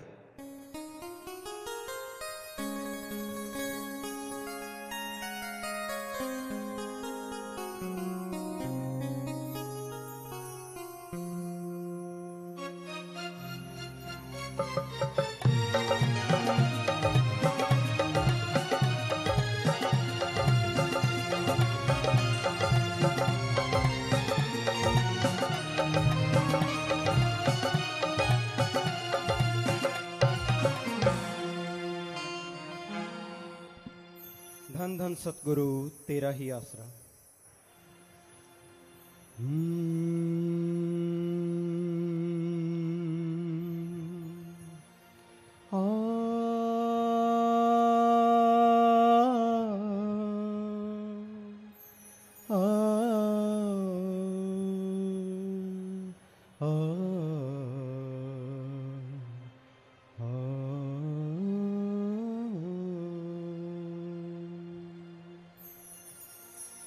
अभी समय अभी समय है हाथ में तेरे। अभी समय है हाथ में तेरे। सत्संग सुमिरन कर ले रे। गया समय फिर हाथ न आए आप मरे जग पर ले रे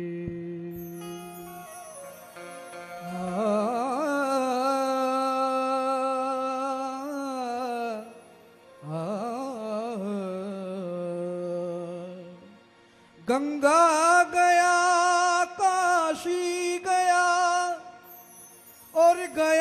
तीर्थ हरिद्वार कहीं न मन का मीत मिला आया तेरे द्वार।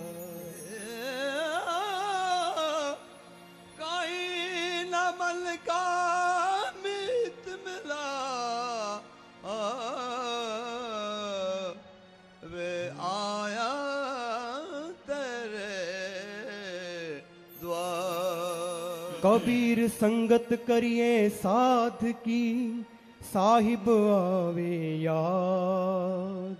लेखे में साई घड़ी, बाकी बात विवाद, बाकी बात विवाद। तन साफ़ बनाते हो मन साफ़ बनाया करो। तन साफ़ बनाते हो। मन साफ़ बनाया करो। तीर्थ है ये सबसे बड़ा। सत्संग में आया करो। दुनिया को रिझाते हो। मालिक को रिझाया करो। तन साफ़ बनाते हो। मन साफ़ बनाया करो।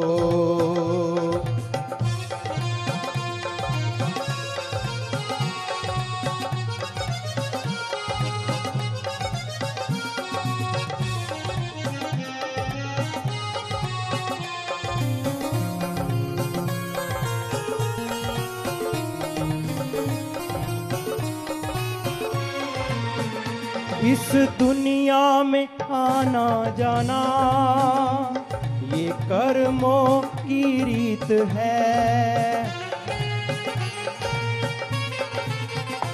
इस दुनिया में आना जाना, ये कर्मों की रीत है। इस दुनिया में कोई ना देखा कौन किसी का मीत है? दो दिन की बहारों में मन को ना लगाया करो। तन साफ़ बनाते हो, मन साफ़ बनाया करो।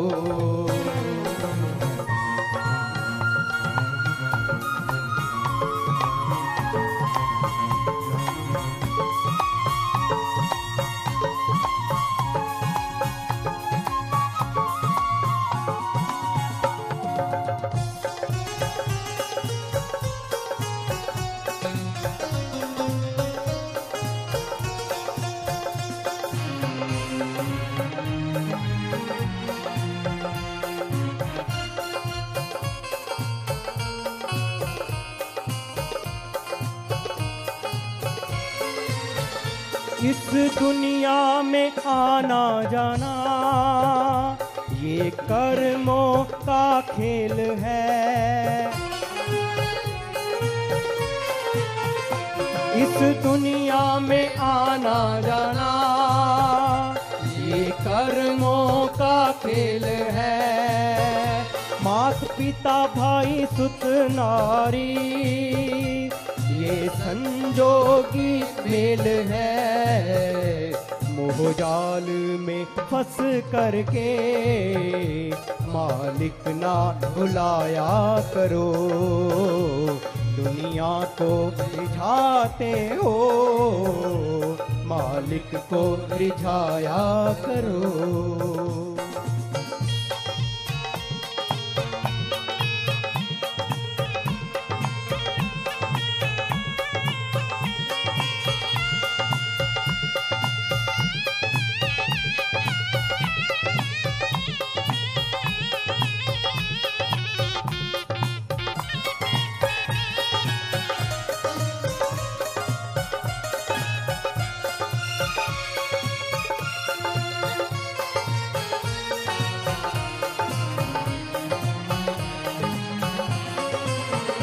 कौन देश है, कहाँ है मालिक? किस लिए तू आया है? कौन देश है, कहाँ है मालिक? किस लिए तू आया है? काल देश में आकर भूला, सारा माल लुटाया है। जो व्यापार करने आए, उसको ना भुलाया करो। तीरथ है ये सबसे बड़ा, सत्संग में आया करो।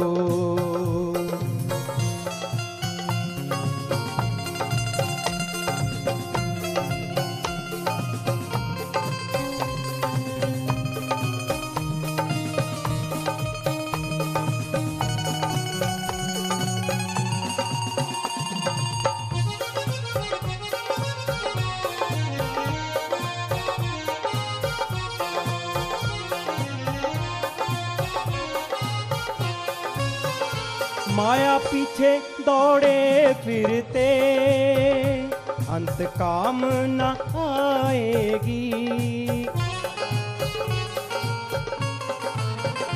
माया पीछे दौड़े फिरते अंत काम न आएगी।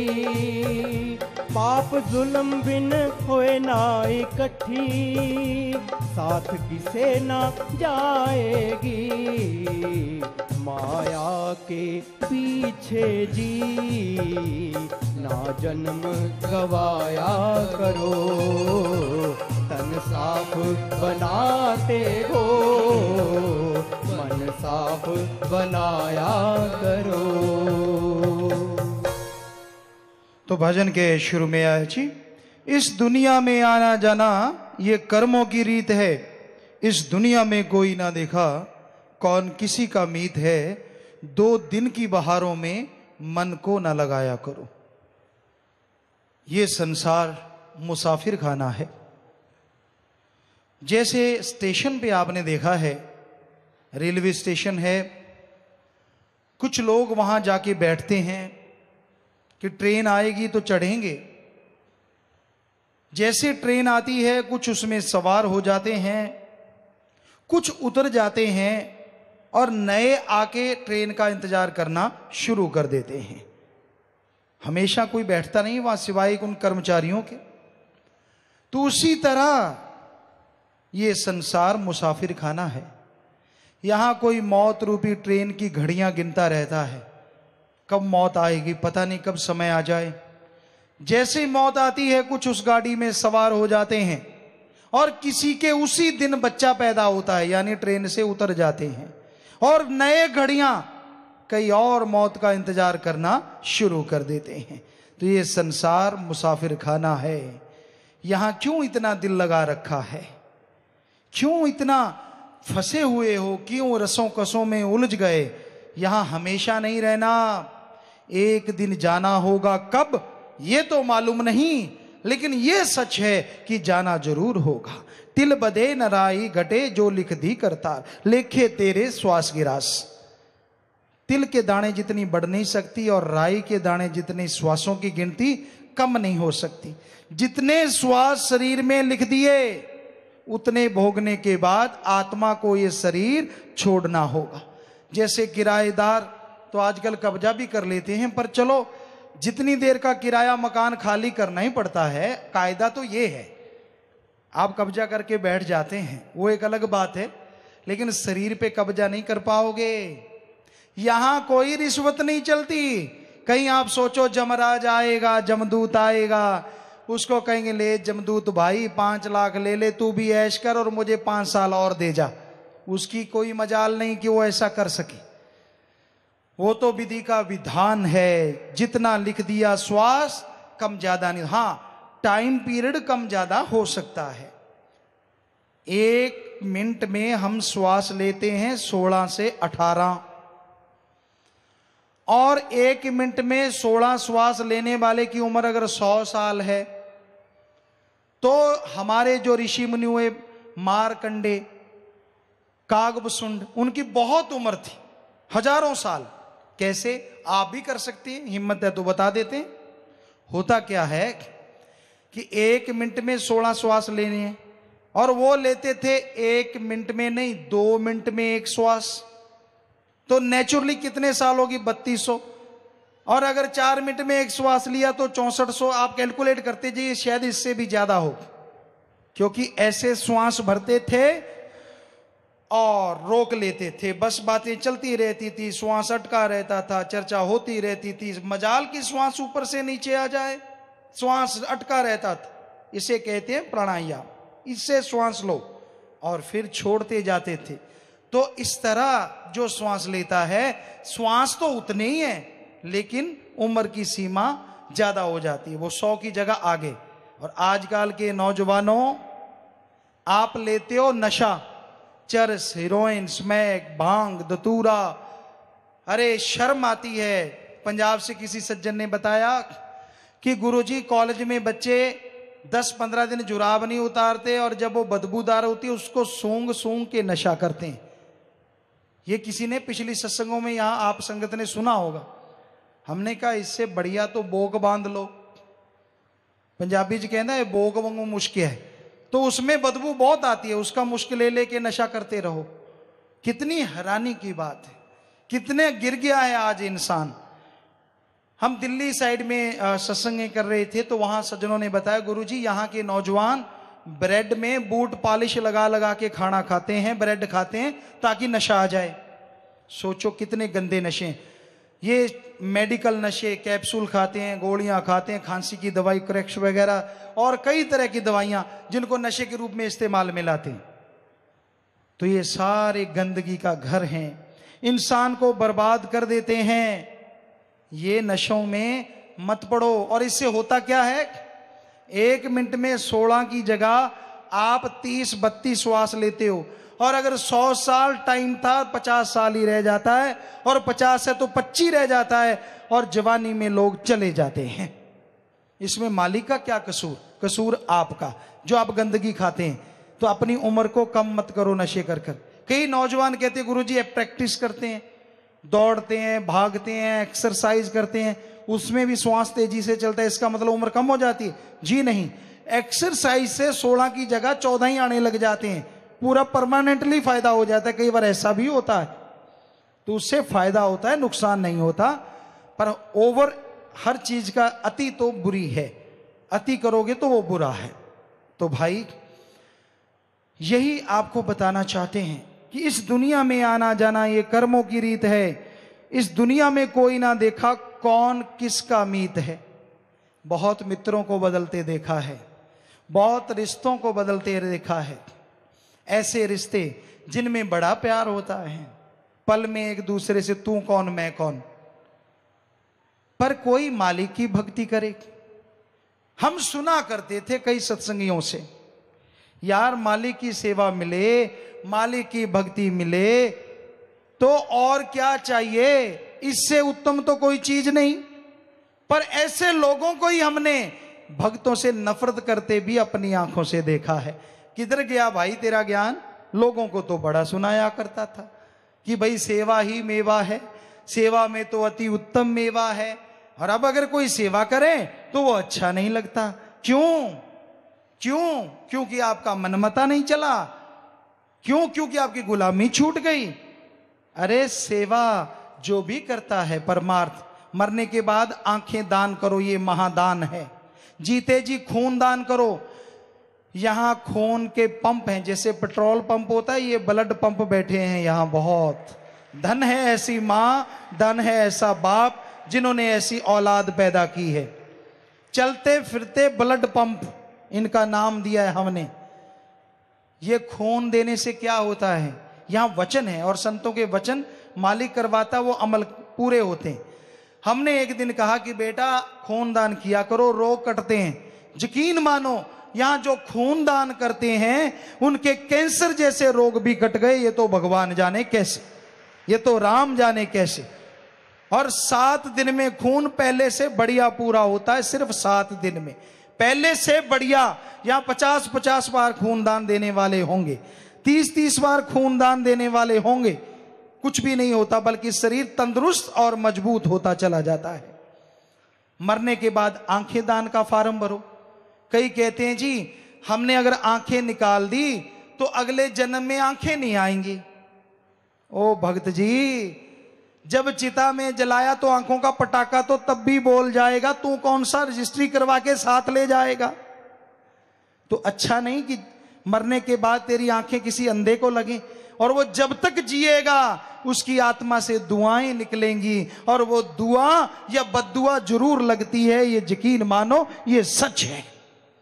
इसलिए दान करो, भूखे को खाना खिलाओ, प्यासे को पानी पिलाओ, अरे बीमार का इलाज करवाओ, अज्ञानी को ज्ञान करवाओ, और जो बुराइयों में फंसे हैं, उनको राम नाम से जोड़ो, ये महादान है करके देखो, बदले में सुख ना मिले तो हम सत्संग नहीं करेंगे, ये गारंटी देते हैं। और बताओ क्या गारंटी दें? बे इंतहा दान मिल का फल मिलता है, पर सच्चे दिल से। पंजाबी च कहावत है, बकरी दूध दिंदी है दिंदी है मींगना घोल के। सो वो दूध किसी काम का नहीं होता, क्योंकि जिसमें मींगणे गुल गई। तो इसलिए दान जब किसी का भला करना है, या गुरु पीर फकीर कहे, ये शेड बना, कईयों ने इतराज किया गुरु जी शेड पे ये दान कर रहे हैं, लोग शेड बना रहे हैं। क्यों? हमने कहा, इसमें हमने डांस करना है। इस शेड के नीचे जितने लोग सत्संग सुनेंगे, हर किसी के अंदर मालिक ज़ाहिर होंगे। और जिन्होंने ये बनाया, क्या उनके घरों में माला माली नहीं होगी? क्या हमने पैसा खाना है? मीन मेघ निकालने वाले बीच में घूम रहे हैं। एक चींटी कोई मकान बना रहा था। प्लास्टर कर रहा था। पंजाबी च प्लास्टर कहते वैसे होता शायद प्लास्टर है। तो वो कर रहा था तो बढ़िया प्लास्टर हो गया। एक चिंटी, एक कीड़ी, उस पे चली। आप क्या समझते हैं? वो चिंटी ये देखने आई है कि इतना सुंदर प्लास्टर हुआ है? नहीं, चिंटी ये देखने आई है, कहीं तरेड़ मिल जाए और मैं घुस जाऊँ। ऐसा ही होता है। जो लोग परमार्थ करते हैं, कई चींटियाँ सूंघती रहती हैं। तूने क्या किया, कहाँ किया, क्यों किया? ऐसी चींटियों को मिलता कुछ नहीं, मुँह खोल के आती हैं, राख दबा के चली जाती क्योंकि यहाँ तो हर चीज़ पारदर्शिता है। जो भी कोई पैसा करता है, उसके सामने है कि भाई, नेकी कर, भला कर, आश्रम में किसी से कोई पैसा ना लिया जाता था, ना है और ना लिया जाएगा। अब बीमारी का इलाज कराने को कहते कि इसका करवा दे तो क्या वो डेरे ने पैसा ले लिया? सो ये फजूल की बातें लोगों के जहन में है, वो खरड़ ज्ञानी होते हैं, उनका ध्यान मत दिया करो। तो आगे आया जी, इस दुनिया में आना जाना ये कर्मों का खेल है। माता, पिता, भाई, सुत नारी, ये संजोगी मेल है। मोह जाल में फंस करके मालिक ना बुलाया करो। ये कर्मों का लेन देन है, कभी आप माँ बाप कभी वो माँ बाप ये तो चलता आया है कर्मों का सिलसिला। तो उनके अनुसार आपके रिश्ते नाते बनते रहते हैं, बिगड़ते रहते हैं, पर मालिक को ना बुलाया करो इन रिश्ते नातों में पढ़ के। वो तो दोनों जहाँ का सच्चा मित्र है, सच्चा साथी है। इस बारे में लिखा है, ये संसार स्वप्न के समान है, सुपने की बाजी बनी हुई है। यहाँ संजोग वियोग के असूल के मुताबिक जीव आकर इकट्ठे होते हैं और बिछड़ते रहते हैं। जग सुपना बाजी बनी। खिन में खेल खिलाए। संजोगी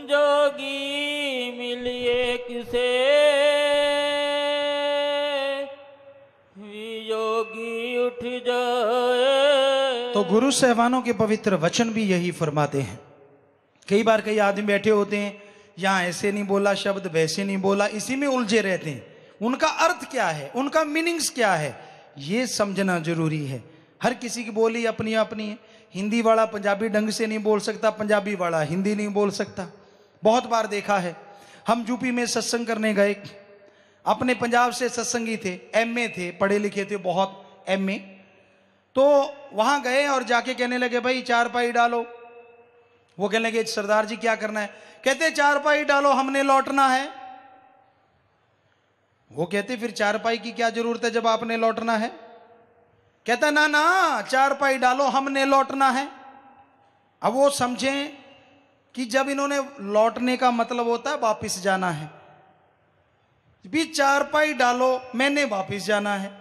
वो कहते, जब वापिस जाना है तो चार पाई डालने की मतलब कहना यह था कि चार पाई डालो, मैंने लेटना है। कह दिया, लौटना है तो एक शब्द से कितना फ़र्क पड़ गया। तो कई बार पंजाबी हिंदी वालों का ये चलता रहता है। भाषा नहीं आती, लेकिन इसका मतलब ये थोड़ी ना है कि आदमी को ज्ञान नहीं सही समझ आता। जिसका गुरु पूर्ण होता है, उसी को सच में ज्ञान समझ में आता है। बाकी तो हाँ बस दूसरी चीज़ों में ही उलझा रहता है। नहीं भाई, ये नहीं। सर्व साझा ज्ञान होता है। गुरुओं ने लिखा है, सर्व साझी गुरुवाणी। सभी के लिए उसमें लिखा है, अव्वल अल्लाह। अल्लाह को वाहिगुरु नहीं किया। कर सकते थे। आज की अगर जमाने की बात करें तो अल्लाह क्यों लिखा? और श्री गुरु नानक देव जी ने जैसे अभी चर्चा हुई, उनके साथ बाला जाट था और मर्दाना जी, मीर भाई जैसे आप सुना तो मुसलमान भाई, कैसे? कैसे गुरु जी ने उनसे कितना काम लिया? कितने बड़े भक्त जिनका आज भी नाम अमर है और आगे भी रहेगा? कैसे? उन्होंने तो कोई भी तकरार नहीं किया, कोई नहीं सोचा क्या जात क्या पात, कोई लेना देना नहीं। गुरुओं को इससे कुछ लेना देना होता ही नहीं। धर्म को इससे कुछ लेना देना होता ही नहीं। धर्म में तो जो मालिक के लिए तड़फता है, वो मालिक का प्यारा है, और जो मन माया के लिए तड़फता है, वो काल का प्यारा है। सो भाई, मालिक के प्यार में ये चीज़ें नहीं आनी चाहिए। जात को जात पुछानना, ये मुँह में खे की तरह है, मुँह में राख की तरह है। इसलिए ऐसा नहीं करना चाहिए। ना वेदों में, ना शास्त्रों में, ना किसी पुराण में लिखा हुआ है कि कोई जात को जात होती है। नहीं, आदमी कर्म वेदों में लिखा है कि जो हड्डियों का मरे हुए पशु की चमड़ी उतारेगा, उनका मांस ले जाता है, उसको शूद्र कहा गया। अगर वही शूद्र के घर बच्चा पैदा हो जाए और वो ब्रह्म ज्ञान सुनाए तो वो शूद्र नहीं, ब्राह्मण कहलाएगा, शूद्र नहीं कहलाएगा। और ब्राह्मण का बेटा अगर मरे हुए पशु ढोएगा तो वो शूद्र कहलाएगा, ब्राह्मण नहीं कहलाएगा। जन्म से जात पात का कोई लेना देना नहीं है। वो तो एक वर्ग बनाए हैं धर्मों में, वर्ग। कि ये वर्ग है, ये वर्ग अदरवाइज़ कुछ भी नहीं। वो भी कोई फूट डालने के लिए नहीं, कर्मों के अनुसार, कि ऐसा कर्म ना करो नहीं तो ये बन जाते हो। तो भाई, हकीकत है, कोई जात पात नहीं है। हम सब एक हैं और हमारा मालिक एक है। हर धर्म में पुकार पुकार के कहा है। हिंदू धर्म में लिखा है ओ या ओंकार। मतलब अल्लाह ताला एक है, वो राम एक है, ईश्वर एक है, वो निराकार है। और हम सब उसकी संतान है, हमारी जात मनुष्यता है। हिंदू धर्म में ब्रह्मा जी के पुत्र संभ्य मनु और औरत सतरूपा की औलाद हैं हम, ये हिंदू धर्म कहला, कहता है। इस्लाम धर्म में आता है, ला अल्लाह ताला एक थे, एक हैं, एक रहेंगे।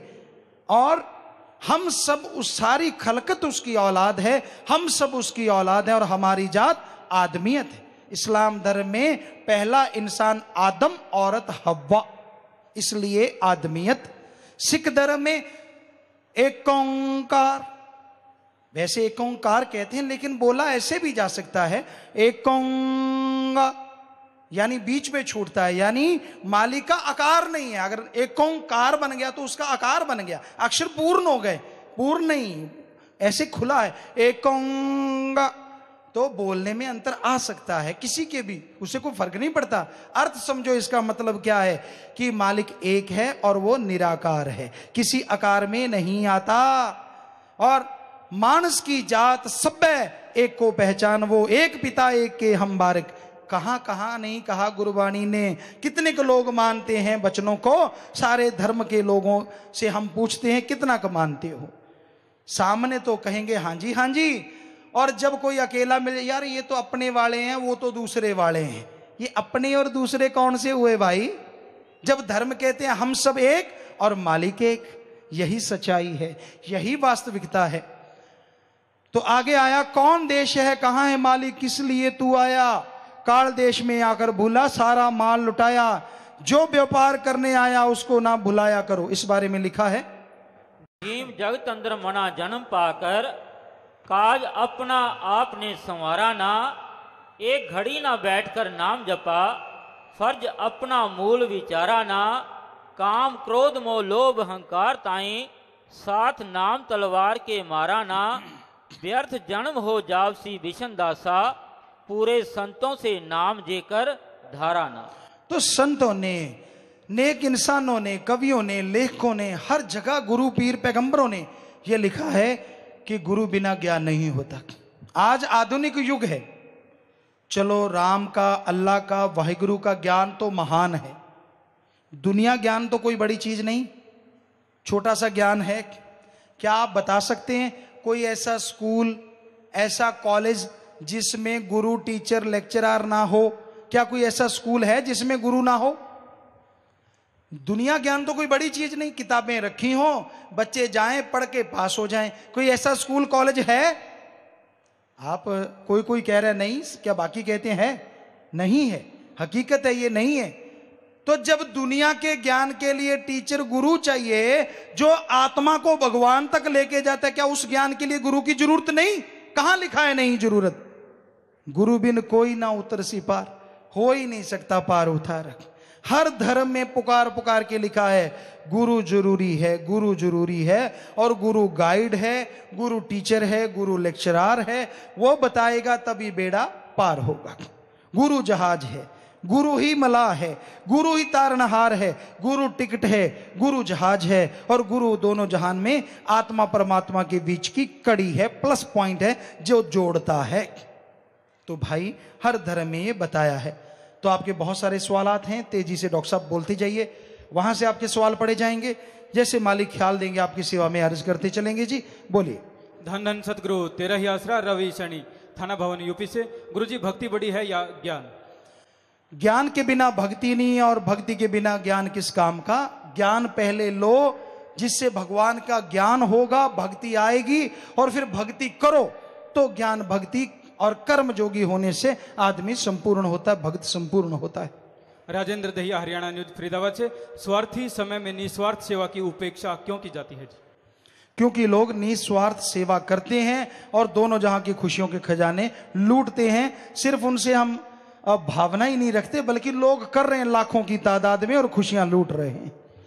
करण सिंह इंसा बहरोड से प्यारे पिताजी सुबह ब्रह्म मुहूर्त में किए गए सिमरण व बाद में किए गए सिमरण में क्या अंतर है जी? ब्रह्म मुहूर्त में, समाधि में, सुन समाधि में जाना आसान होता है। विज्ञान भी मानते कि इस टाइम ऑक्सीजन शुद्ध और ज़्यादा होती है और धर्म हिंदू धर्म में कहते हैं Brahma Muhurta early morning between two to five दो से पाँच का जो टाइम है, उसे हिंदू धर्म में ब्रह्म मुहूर्ता सिख धर्म में अमृत वेला, इस्लाम धर्म में बांगे वक्त फ़र्ज़ और इंग्लिश फकीर the god's prayer time the god's prayer early morning time तो ये समय सबसे बढ़िया होता है। इसमें सुन समाधि में जाना आसान होता है। संजीव इंसा आगरा से मैं आर्मी में नौकरी करता हूँ। कई बार मुझसे शराब और मांस अंडे उठवाने के लिए कहा जाता है मेरा मार्गदर्शन करें और कई बार खाने की चीज़ों में मक्खी मच्छर गिरकर मर जाते हैं क्या वह चीज़ खानी चाहिए या नहीं? अपनी तरफ़ से तो ना खाओ। अगर ऐसा लगता है कई बार जीवित हैं तो उनको निकाल दो। और दूसरी बात आपको ये करना ही पड़ता है। ऑफिसर का कहना मानना पड़ता है कि उठाओ। उठाने से आप पी नहीं गए लेकिन सुमरण करके उठाओ ताकि उठाने की नौबती शायद ना आए। भगवान कृपा कर दें। इन्होंने नाम नहीं लिखा। डेरा सच्चा सौदा द्वारा जो मानवता भलाई का तिरसठवां कार्य तलाकशुदा युवतियों की शादी का चलाया गया है उसकी प्रक्रिया क्या है? यानी क्या तलाकशुदा युवतियों के रिश्ते भी डेरा सच्चा सौदा द्वारा करवाए जाएँगे? इसके लिए क्या उनके नाम यहाँ लिखवाने होंगे जी? हाँ बहुत बढ़िया आपने याद करवाया। आप एडम ब्लॉक में या यहाँ जुम्मेवार बैठेंगे दोनों तरफ़ भाई बहन बैठते हैं पच्चीस मेंबर। तो उनके पास नाम नोट करवा दें। जिनकी तलाकशुदा कोई बेटी है या बेटा है तो उनकी शादियाँ यहाँ पे करवाई जाती कई शादियाँ हो चुकी हैं। जैसे वैश्यों की शादियाँ हो गई और वैसे उनकी भी शादियाँ करवाई जाएँगी। आप नाम लिखवाएँ। कई हो चुकी हैं आगे भी करवाई जाएँगी। राहुल इंसान थाना भवन यूपी से। अगर कोई जवान बिना नाम लिए देश पर कुर्बान हो जाए क्या उसका उद्धार होता है या नहीं? मालिक रहमो करम ज़रूर बरसाते हैं। रीटा ग्रोवर डबवाली से काल और दयाल दोनों की धुन में क्या अंतर होता है? पहचान कैसे होगी? काल की धुन कौन सी है और दयाल की कौन सी? आपने काल की धुन से क्या लेना है? आप सुमण कीजिए, दयाल की धुन सुनेगी और मालिक तक ले जाएगी। क्या लेना है कर्कश आवाजों से? जब एक सुरीली आवाज़ कानों में पड़ गई तो कर्कश आवाज़ें अपने आप मिट जाएँगी। सिंगारा सिंह प्लम्बर मैं ओबीसी बैंक जिसकी डेरे के सामने ब्रांच है इक्कीस हज़ार रुपये लेने गया था।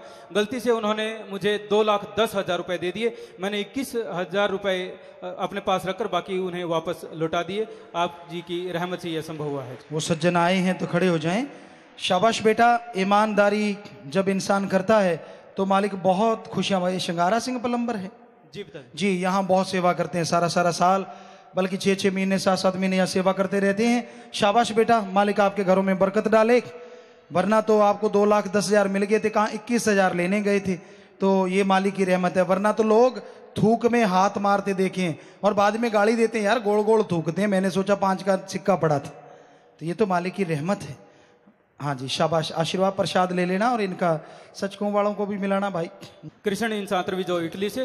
पूज्य पिताजी आप जी ने लड़के और लड़के के भेद को मिटा अर्थी को कंधा और मुख अग्नि देने की नई रीत शुरू कर बेटियों का मान बढ़ाया है जिसके लिए अपने पावन चरणों में आप जी के पावन चरणों में कोटि कोटि धन्यवाद करता हूँ। गुरुजी बड़ी उलझन थी क्योंकि मेरे तीन बेटियाँ ही हैं। गुरुजी आपने मुझ जैसे हज़ारों बेटियों वाले बापों की किस्मत खोल दी। कृपया इस बारे में संगत को और विस्तार से बताने की कृपा करें। जी अभी हम जब वेस्ट बंगाल साइड से सत्संग करके आए तो सतब्रह्मचारी यहाँ पे थे बहुत ज़्यादा सेवा करते थे बुज़ुर्ग हो गए सेवा करते करते और वो टाइम भी आता है जब निजधाम जाना है।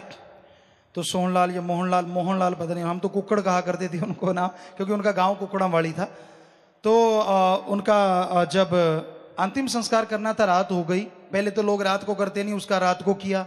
दूसरा अ, उनके बेटे हैं और बेटियाँ भी। तो हमने उनकी बेटियों को कहा कि आप भी अर्थी को कंधा दो और बेटे भी। तो बेटे बेटियाँ दोनों ने उसको उठा के वहाँ तक लेके गए और बेटियों ने भी चिता को आग दी और बेटों ने भी आग दी। तो ये एक नई रीत उनके नाम से शुरू कर दी कि भाई ये आगे से साथ संगत भी ये साथ दे तो मालिक आपको बेहद खुशियाँ बख्शे। बेटी को भी बराबर का हिस्सेदार है। तो क्या साथ संगत ये साथ देगी ये रीत चलाएगी तो हाथ खड़ा करके वायदा कीजिए। जी, बहुत आशीर्वाद बहुत आशीर्वाद आशीर्वाद हाथ नीचे कर लीजिए, मालिक खुशियाँ दे, क्योंकि हर कुरीति को तोड़ना भक्त का काम है। ये कुरीतियाँ हैं। अगर बेटे के अंदर माँ बाप का खून आता है तो बेटी के अंदर क्या जहर होता है? बेटी के अंदर भी उसी माँ बाप का खून होता है। उसका भी उतना ही हक है, हमारी निगाह से। तो होना भी चाहिए बराबर। जी। लिटिल रोजेज ब्लॉक से नूरी स्वरूप के दर्शन करने के लिए कितना सुमरन करना चाहिए?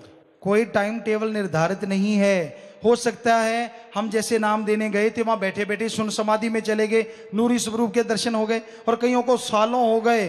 अमल करना नहीं, बचनों पे चलना नहीं, जितना सुमरण किया सारा दिन निंदा चुगली साफ़ थोड़ा बहुत अब किया फिर साफ़। तो ये तो आप पे निर्भर करता है, आप अपने आप को कितने जल्दी पवित्र कर पाते हैं, उतनी जल्दी ही नूरी स्वरूप के दर्शन होंगे। किरण इंसान सतनामी महल कहाँ है और वहाँ पहुँचने के लिए क्या करना चाहिए? बस सुमरण के बिना और कोई तरीका नहीं। जगदीश सेवा करो परमार्थ और सुमरन। जगदीश इंसान भुनावली ढाणी से शब्द गुरु होता है या देह गुरु?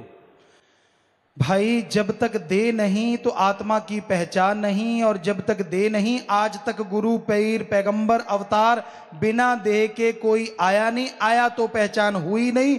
पहले देह धारनी पड़ी, फिर उनको गुरु माना गया, फिर उनको पैगंबर माना गया। बताओ कोई ऐसा कि बिना देह के आया और लोगों ने उसे माना हो? है कोई ऐसा? है कोई जिसे आप मानते हो? ऐसे लोग बनाते रहते हैं बातें। तो ये हो ही नहीं सकता। पहले देह धारनी ही पड़ती है उसमें आना ही पड़ता है वही गुरु पीर पैगंबर अवतार कहलाता है। लिटिल रोजेज ब्लॉक से रवीना इंसान। गुरुजी जब हम आप जी से सपने में कुछ मांगते हैं और आप जी मुस्कुरा दें तो इसका क्या मतलब होता है तो भाई वो तो मालिक ही दर्शन देते हैं। मुस्कुराने का मतलब तो यही है कि बेटा थोड़ी अभी कमी है सुमरण कर ले। मांग तो बहुत कुछ रहा है मिल जाएगा लेकिन सुमण कर बचनों पर रहे। गौरव इंसान सिरसा से गुरु जी कवालियों में एक शब्द आता है आफरीन। उसका मतलब क्या है? वैसे तो ये उर्दू फारसी का अल्फाज है जिसका मीनिंग्स मतलब है कि उससे ज़्यादा खूबसूरत दुनिया में कोई है ही नहीं। इनका अगला प्रश्न अगर कोई लड़की ब्रह्मचारी सत ब्रह्मचारी बनना चाहते है और उसके घर वाले नहीं मानते वो उसकी शादी करना चाहते हैं तो उसे क्या करना चाहिए? भाई अपने माँ बाप परिवार से सहमति ज़रूर जतानी चाहिए। ज़रूर सहमत करना चाहिए क्योंकि भीष्म पितामह एक ब्रह्मचारी हुए सिर्फ शादी नहीं की बाकी सारा कुछ था माँ बाप के लिए किया लेकिन सच्चे सौदे ਦੀ ਫਕੀਰੀ ਦਾ ਮੁਕਾਮ ਬੜਾ ਉੱਚਾ ਇੱਥੇ ਮਿੱਟੀ ਹੋ ਕੇ ਰਹਿਣਾ ਪੈਂਦਾ ਸ਼ਾਨ ਦਾ ਕੀ ਕਮ सो कहने का मतलब यहाँ के जो ब्रह्मचारी सतब्रह्मचारी हैं वो पूर्ण रूप से अगर त्यागी हैं तो उस जैसी जिंदगी उनकी नहीं उनकी कुलों के भी दोनों जहाने में किसी की हो नहीं सकती क्योंकि मानवता के लिए, इंसानियत के लिए सब कुछ त्याग देना आज से पहले कभी कोई मिसाल मिलती नहीं। हाँ संत पीर पैगंबरों ने तो किया, लेकिन कोई आम इंसान जो ब्रह्मचारी, सतब्रह्मचारी बने, ये बेमिसाल बेमिसाल बेमिसाल। चरणजीत इंसान शास्त्राम जी गर्ल्स हॉस्टल सेवादार पूज्य गुरुजी, जब मैं पहली बार पूजनीय बापू जी की याद में श्री गुरुसर मोडिया में खूनदान कैंप लगा था तो वहाँ पर खूनदान करने के लिए गई तो डॉक्टरों ने मेरी आँख की बीमारी होने के कारण मेरा खून नहीं लिया जिससे मैं रोती हुई जहाँ बचपन में आप जी ने डिग्गी बनाई थी वहाँ पर चली गई और डिग्गी का पानी मैंने अपनी आँखों में मारा तो मेरा बीमारी भी हट गई चश्मा भी हट गया और मैं बिल्कुल ठीक हो गई आपका दृढ़ विश्वास है और मालिक की रहमत है बेटा। जिनका दृढ़ विश्वास होता है ऐसे ही सब कुछ मालिक पल में बख्श देते हैं। राजीव मल्होत्रा राजौरी दिल्ली से। अब दिल्ली में नशे का नया स्टाइल शुरू हो गया है जी जिसे फ्लेवर्ड हुक्का बार के नाम से चलाया जा रहा है और ये बड़ी तेज़ी से बढ़ रहे हैं। यहाँ स्कूल के बच्चे भी आते हैं आने शुरू हो गए हैं। इस हुक्का बार में जो कि मेरे ऑफ़िस के पास है यहाँ सभी तरह के गलत काम होते हैं। यहाँ स्कूल व कॉलेज के बच्चों को नशों में लिप्त लड़ाइयाँ करते देखता हूँ तो बहुत दुख होता है। आप तो नशों से दूर करने की दवा है तो कृपया इस नशे पर भी आप अपना इंजेक्शन लगा दें। जी मालिक से दुआ करेंगे। हम तो हर तरह के नशे के विरुद्ध लगे हुए हैं। बाकी सतगुरु मौला की रजा। अनिल इंसा कपिल इंसा रिडमल सर से जो लोग नित्य नियम से मंदिर में जाते हैं क्या उनकी मुक्ति होती है जी? बिना गुरुमंत्र बिना नाम के ना किसी की मुक्ति हुई ना होगी। मधु इंसा आप जी ने सपने में दर्शन आप जी सपने में दर्शन देते हो उसमें से कई तो सच हो जाते हैं और कई नहीं। क्या उनको सच होने में टाइम लग सकता है या फिर कोई खुशी देनी होती कईयों को टाइम लगता है कई खुशी देनी होती है और कई पाप कर्म मालिक सतगुरु अल्लाह राम काट देते हैं। नीलम इंसान जगाधरी से और ज्योति इंसान राजस्थान से। पूज्य पिताजी, जब हमने आपके पास से नाम दान लिया था तो हमारे पास एक पुराना साइकिल था और हम किराए के मकान में रहते थे। अब आप जी की दया मेहर से हमारे पास अपनी कोठी है, बाइक और नई कार ली है, ऐसे ही दया मेहर बरसाते रहना सब मालिक रहमो करम है बेटा, उसका शुक्राना करना ना भूलना। कहीं सब कुछ मिल गया, शुक्राना करना बंद कर दो। शुक्राना करते ही जाओ, करते ही जाओ। क्योंकि रोम रोम भी अगर ज़ुबान बन जाए तो भी शुक्राना करें, उस मालिक का कम है। इसलिए शुक्राना करने से बंद नहीं होना चाहिए। मालिक रहमतें और लुटाएँगे। जगदीश इंसान कल्याण नगर से जब किसी प्रेमी भाई या माता बहन के चोला छोड़ने की नाम चर्चा होती है तो उस समय उस चोला छोड़ने वाले की फ़ोटो पर लोग रुपया पैसा चढ़ाते हैं। क्या नाम चर्चा में ऐसा करना उचित है जी? बिल्कुल गलत है। पैसा किसी दीन दुखियों की मदद में लगाना चाहिए। नरेश इंसार रोहतक से दूसरे ग्रह के निवासियों को आप वहाँ पर जाकर नाम देंगे या वो हमारी पृथ्वी पर आकर आप जिसे नाम लेंगे? एक बार इस ग्रह वालों को सुधार लें उनका तो मालिक करवा ही रहे होंगे। अजय प्रकाश बला- बल्लभगढ़ से पत्रकार। भ्रष्टाचारी नेताओं व स्वार्थी लोगों के घिनौने चेहरे जग ज़ाहिर हो रहे हैं जिन्होंने गरीब आवाम के विश्वास को राष्ट्र व धर्म के नाम पर लूट हज़ारों करोड़ों का साम्राज्य बनाया संत तो त्यागी होते हैं फिर ये रक्षक भक्षक कैसे हो गए? कृपया मार्गदर्शन करें। भाई आ, क्या वाकई चेहरे जग ज़ाहिर हो रहे हैं? थोड़े से चेहरे देख के आप ये ना समझ लेना कि सारे हो गए। क्योंकि बेपरवाची फरमाया करते थे, हमाम में सब नंगे हैं। थोड़ी नीची आवाज़ इसलिए कह रहे हैं कि आपको ध्यान से समझ आए और डर के नहीं कह रहे। ये तो सतगुरु मौला जानता है कौन भ्रष्टाचार से लिप्त नहीं है और कौन है। अच्छी बात है, अगर कुछ ऐसा हो रहा है, पर जम के हो तो मज़ा आए। मालिक रहमत करें। पता चले यहाँ तो छोटी मछली को, बड़ी बड़ी को, उससे बड़ी उससे बड़ी को, उससे बड़ी गाँव से काम शुरू होता है, शहरों से होता हुआ कहाँ से कहाँ पहुँच रहा है, ये राम जाने। बहुत बुरा हाल है समाज का। इसमें एक जागरूकता की ज़रूरत है, पर जगाने वाला, पहले आप जागा हो, कहीं आप ना सोया हो, ये देखने वाली बात है। इन्हीं का अगला प्रश्न, जब मुरीद पर अपने सतगुरु की रहमत बरसती है और उसकी हर इच्छा पूरी होने लगती है तो लोग कहने लगते हैं कि कल का आया है और इतनी रहमत, इसका कोई ना कोई जुगाड़ या अप्रोच है। रूहानियत के दृष्टिकोण से जुगाड़ और अप्रोच शब्द को परिभाषित करें जुगाड़ ना होता है, ना अप्रोच होती है। पिछले जन्मों के संस्कार ज़रूर होते हैं। किसी के संस्कार पिछले जन्मों जन्मों की भक्ति की होती है। चाहे वो काल की ही क्यों ना करता रहो पर दयाल की मान के वो जब काल की करता है तो दयाल उसे अपनी भक्ति में कन्वर्ट कर लेता और वो रूहें संस्कारी रूहें बन जाती हैं और वो पल में चढ़ाई कर जाती हैं। सपना इंसाफ पंचकुला से पूज्य पिताजी मेरे ससुराल वाले मुझे डेरे में आने से और नाम चर्चा में जाने से बहुत रोक रहे हैं कहते हैं कि घर से निकाल देंगे। पिताजी क्या मैं ही ऐसे परिवार को छोड़ दूँ? मेरा मार्गदर्शन करें नहीं परिवारों को छोड़ना नहीं बल्कि उन परिवारों को कोशिश कीजिए खाना नाम जब के बनाइए सुमन करके प्रार्थना कीजिए ताकि वो भी भलाई नेकी में आगे आ सकें। सरोज जमालपुर से खंडवाना से दो लड़कियों का आपस में दुनियावी प्यार है। उनकी सपने में आपकी हजूरी में शादी हो जाती है। पिताजी वो इसी को वास्तविक सच मानकर शादी कर लेती हैं। उन पर दया मेहर करो जी। सब बकवास है सब झूठ है। ये एक आपका बनाया हुआ ख्याल है। मालिक ऐसा कर ही नहीं सकते। सवाल पैदा नहीं होता। अप्रकृतिक आ, कभी भी रिश्ते को सदगुरु हुक्म देते ही नहीं ये तो आपकी अपनी भावना और मन सपना दिखाता है क्योंकि काल महाकाल बन के जब भक्ति मार्ग में आ सकता है तो सपने में आना कितनी की बड़ी बात सो इसलिए ये बकवास है ना हम इसको मंजूरी देते थे ना देते हैं और ना भविष्य में कभी देंगे। ये अप्राकृतिक है कुदरत के उल्ट है तो इसमें खुशी का तो सवाल ही पैदा नहीं। हाँ नुकसान जितना हो उतना कम है वो ज़रूर होता है। आ, कभी उसे गम लगे रहते हैं कभी टेंशन लगी रहती है कभी कोई चिंता लगी रहती है कभी कुछ लगा रहता है। ये हकीकत है। लालचंद सरसा क्या भजन सिमरन एक ही बात है या भजन अलग और सिमरन अलग है जी? भाई भजन सुमरन एक ही बात है। जब बोलते हैं कि भजन सुमरन कर लो मतलब कि आप उस मालिक को भज लो। भजना और सुमरन करना। सुमरन बार बार रिपीट करना भजना बार बार बोलना तो मतलब एक ही है। वैसे भजन जैसे आपकी भजन बोल लो तो वो एक अलग जगह कर लो तो भजन सुमरन एक ही चीज गुरजन सिंह चुनगरा पातड़ा से लोग कहते ने ਸ੍ਰੀ ਗੁਰੂ ਗੋਬਿੰਦ ਸਿੰਘ ਜੀ ਦੇ ਜਾਣ ਤੋਂ ਬਾਅਦ ਜੀ ਨਾਮ ਸ਼ਬਦ 100 ਸਾਲ ਗੁਪਤ ਰਹਾ ਅਤੇ ਉਸ ਸਮੇਂ ਤੋਂ ਲੈ ਕੇ ਕਿਸ ਨੂੰ ਨਾਮ ਦੀ ਆਗਿਆ ਸੀ भाई एक हिस्ट्री है एक इतिहास है कि मालिक का नाम कभी भी बंद नहीं हुआ जब से दुनिया साजी है और जब तक दुनिया रहेगी मालिक का नाम चलता था, चलता है और चलता ही रहेगा। चाहे प्रलय आए, चाहे महाप्रलय राम नाम कभी समाप्त नहीं होता, कभी बंद नहीं होता। नवीन गजरा खाजवाला से। क्या भूत प्रेत या देवी देवते किसी इंसान के शरीर में घुस सकते हैं? आजकल हर शहर में ऐसे लोग हैं जो कहते हैं कि हमारे अंदर देवी देवता आते हैं और भविष्य और भूतकाल की बातें बताते हैं। सब झूठ है, ऐसा कुछ नहीं है। भूत प्रेत जो नहीं है, वो रूहानी मंडलों पे नीचे आ ही नहीं सकते। घुसेंगे कैसे? फिर तो वो भगवान से बड़े हो गए, जिसमें घुस गए, जिसमें नहीं। और एक और समझ नहीं आती। ये भूत प्रेत जो भूखे मर रहे हैं सुक्के रोड तोड़ते हैं, उनके अंदर क्यों घुसते हैं? भूत प्रेतों ने घुसना है तो उनके अंदर घुसे जो रोज जहाज़ पे सैर करते हैं। रोटी दिल्ली में खाई, शाम की रोटी मुंबई में खाई, अगले दिन बाहर के देश भूत उनमें क्यों नहीं घुसते? अज्ञान ही भूत है, कोई भूत प्रेत नहीं होता। वो रूहानी मंडलों पे है, उनको सजा मिली हुई है, वहाँ तड़फ रहे हैं। और देवी देव भी किसी के अंदर घुसते नहीं, बल्कि उनकी ड्यूटियाँ हैं, कर्मचारी हैं वो सृष्टि को संभालने के लिए। अलग अलग उनकी ड्यूटियाँ लगाई हैं, काल महाकाल ने, त्रिलोकीनाथ ने। संदीप इंसान जिन से आपका ये नौकर पल पल सिमरण कर रहा है जी, लेकिन मन इतने गंदे ख्याल दे रहा है कि मैं आपके सामने आने से डर रहा हूँ। बेदाग भक्ति करना चाहता हूँ, मैं बहुत टेंशन में हूँ, आपका प्यार कहीं मैं खो न दूँ, ये डर रहता है जी। प्यार नहीं खोता, पर मन से लड़ो, मन के अनुसार चलो ना बस। मन ख्याल दे देता है, पाँच मिनट सुमण करो, ख्यालों क्या पाप खत्म।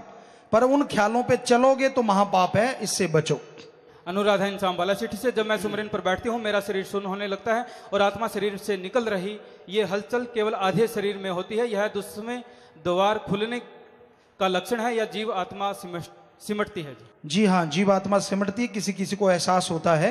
पर चलते फिरते सुमण करो ये एहसास ये आपको अगर थोड़ा सा परेशानी है तो ठीक हो जाएगा। गौरव इंसान रामपुर से जो आत्महत्या करता है उसे मुक्ति मिलती है या नहीं? क्या वो भूत बनता है? अगर नहीं तो भूत क्या है? आत्मघाती महापापी। जो आत्महत्या करते हैं उन वो बहुत बड़े पापी हैं। उनकी रूह वहाँ भटकती है जहाँ घोर अंधकार होता है। प्रेत भूत किसी भी जोन में जाए लेकिन भटकती रहती है और वहाँ ऊपर रूहानी मंडलों में बेहद भयानक सजा उसको भोगनी पड़ती है। चंद्रशेखर साहब बठिंडा से जुल्म करना भी पाप और जुल्म सहना भी पाप है इसका क्या अर्थ है? आप किसी पे जुल्म ना करो अपनी आत्मा पे भी जुल्म ना करो बुरे कर्म करके और किसी दूसरे पे भी जुल्म ना करो। आपकी आत्मा पे कोई जुल्म करना चाहे उसको रोको चुप करके आँखें मूंद के जुल्म ना करवाते रहो। इनका अगला प्रश्न अंदर बाहर से एक हो जाना क्या ये दसवें द्वार खुलने से होता है जी? दृढ़ विश्वास से बेहद दृढ़ विश्वास हो और दसवें द्वार के खुलने से मालिक ये रहमत कर देते हैं। सुरेंद्र इंसान क्या सुमरन के वक्त नाम शब्द का जाप मन ही मन करना आवश्यक है या एकांत में नाम जपने पर उसे होठों से हल्के बुदबुदा कर भी सुमरिन कर सकते हैं? जी, होठों से कर सकते हैं, ऊँची बोल के कर सकते हैं ताकि मन रुक सके, लेकिन कोई सुनने वाला ना हो, क्योंकि फिर मन को अहंकार आ जाता है। तो नाम दे आने वाले अहंकार में ना आना, करी कराई भक्ति माटी में ना मिलाना। अगर अहंकार आ गया तो करी कराई भक्ति माटी में भी मिल जाती। बहुत सारे अहंकारी पुरुषों को दुखी होते देखा है अहंकार को मार है, उसकी भक्ति चली जाती है। इन्हीं का अगला प्रश्न वर्तमान समय में समाज में फैली पश्चिमी सभ्यता की वजह से आई अश्लीलता टीवी पर साधारण से विज्ञापन में भी परोसे जाने वाली गंदगी लोगों को विशेषकर युवाओं को नाम जपने में और ध्यान जमाने में बाधक है। इससे कैसे बचाव हो सकता है? भाई बड़ा आसान सा काम है मत देखो। पुष्पा इंसान गर्भवती औरत क्या गुरु मंत्र ले सकती हैं? जी। जी हाँ जो मर्ज़ी यहाँ अंधा बहरा कोड़ा कुश्ती सबके लिए सदगुरु ने द्वार खोल रखे जो मर्ज़ी आए इंसान की शक्ल होनी चाहिए नाम ले सकता है। श्रीनिवास सब इंस्पेक्टर रोहतक से। मैं दिल्ली पुलिस में हूँ। मैंने कई बार रेड करते समय, छापा मारते समय एक एक किलो सोना, अफीम, ड्रग आदि पकड़े और उसके बाद सरकार की तरफ़ से मुझे कोई रिवार्ड नहीं मिला। पर आपकी रहमत से सतगुरु जी, न कभी उस सोने के प्रति मेरे मन में लालच आया और न ही पैसों का लालच आया। ये सब आप जी के पावन शिक्षा से ही संभव हुआ है। शाबाश बेटा, मालिक आपको बहुत खुशियाँ बख्शेगा। आपकी कुलों को वो अवार्ड देगा जो कोई और नहीं दे सकता। दुनियावी अवार्ड तो क्या कहें अब? लेकिन आपने अच्छे नए काम किए मालिक आपको बहुत खुशियाँ बख्शे। सुमन करना बचनों पे रहना मालिक रहमत करें आशीर्वाद पुनीत इंसान श्री गुरु मोडिया से किसी को सुमरन करते समय तंग करने से या उन्हें रोकने से क्या सजा मिलती है जी? भाई दुख तो उसको मिलेगा ही मिलेगा पर आपने क्या से क्या लेना ऐसा करना नहीं चाहिए कभी भी। अंकित सिंगला आदमपुर से सिमरन की प्रक्रिया में दोनों आँखों के बीच ध्यान कैसे लगाया जा सकता है वैसे अपने थॉट्स अपने विचारों को दोनों आँखों के बीच, जिसे ज्ञान चक्षु, हिंदू धर्म में, यानी तीसरी आँख नॉलेज थर्ड आई ज्ञान की तीसरी आँख, ये जगह, और सिख धर्म में इसे दसवां द्वार, इस्लाम धर्म में इसे मेहराब और इंग्लिश फकीर very very deep sleeps point इस जगह को बोलते हैं तो अपने थॉट्स आँखें बंद हैं, अपना ध्यान चारों तरफ़ से हटा के यहाँ लगाइए सुमण कीजिए तो ये द्वार खुलता है। नौ दरवाजे हमारे खुले हैं। दो कान हैं, दो आँख हैं, दो नाक हैं, एक मुँह है और दो इंद्रियाँ। ये नौ डोर, नौ दरवाजे हैं शरीर के। बाकी कोई दरवाज़ा नहीं है, सिर्फ़ एक ये है। और यहाँ ध्यान जमाने से अगर ये खुलता है तो मालिक तक लेके जाता है। ਕੁਲਵੰਤ ਇਨਸਾਨ ਅੰਗਲ ਮਾਨਸਾ ਸੇ ਪਿਤਾ ਜੀ ਕੱਲ ਦੇ ਅਖਬਾਰ ਸੱਚ ਕਹੂੰ ਵਿੱਚ ਜੋ ਆਪ ਜੀ ਵੱਲੋਂ ਬਿੱਲੀ ਦੇ ਬੱਚੇ ਬਾਰੇ ਦੱਸਿਆ ਸੀ ਉਹ ਪਿਤਾ ਜੀ ਆਪ ਜੀ ਦੇ ਮੁਖਾਰ ਵਿੰਦ ਤੋਂ ਦੁਬਾਰਾ ਸਾਧ ਸੰਗਤ ਨੂੰ ਸੁਣਾਉਣ ਦੀ ਕਿਰਪਾਲਤਾ ਕਰੋ जी जी वो पश्चिम बंगाल में हम अ, सत्संग जैसे करने गए तो बीच में सतगुरु की रजा घूमने जाते थे देखने कहीं ना कहीं चले जाते कोई नाम वाला जीप तड़फ रहा होता तो ऐसी एक जगह गए पार्क सा था वहां पे और बरसात आ गई छाता वगैरह लिया, लेकिन बरसात बड़ी आड़ी तिरछी थी, भीग से गए। तो एक बहन वहाँ घूम रही थी, कहती गुरु जी मैं तो कब से उड़ी करी हूँ, मेरे घर में आओ। हमने कहा, चलो, तेरे घर में ही कपड़े बदल लेते हैं बेटा, वरना तो छतरियाँ सी लगा के वहाँ भी बदल लेते। तो उसके घर में चले गए, उसका घर बेचारी गरीब सी थी, वो बिल्कुल छोटा सा घर, बिल्कुल ही छोटा सा, तंग सी जगह, झुक के चले गए उनके घर, गरीब सा घर, बहुत ही गरीब। तो उनके घर झुक के, क्योंकि हाइट कम थी तो हम अंदर चले गए। वहाँ बैठे प्रसाद वगैरह दिया, उनको नाम भी दिया, शायद वो तड़फ रहे थे। तो वो कहने गुरु जी नाम दे दो। पाँच छह लोग थे घर के, उनको नाम दे दिया। उनका बिल्ली का बच्चा एक छोटा सा था।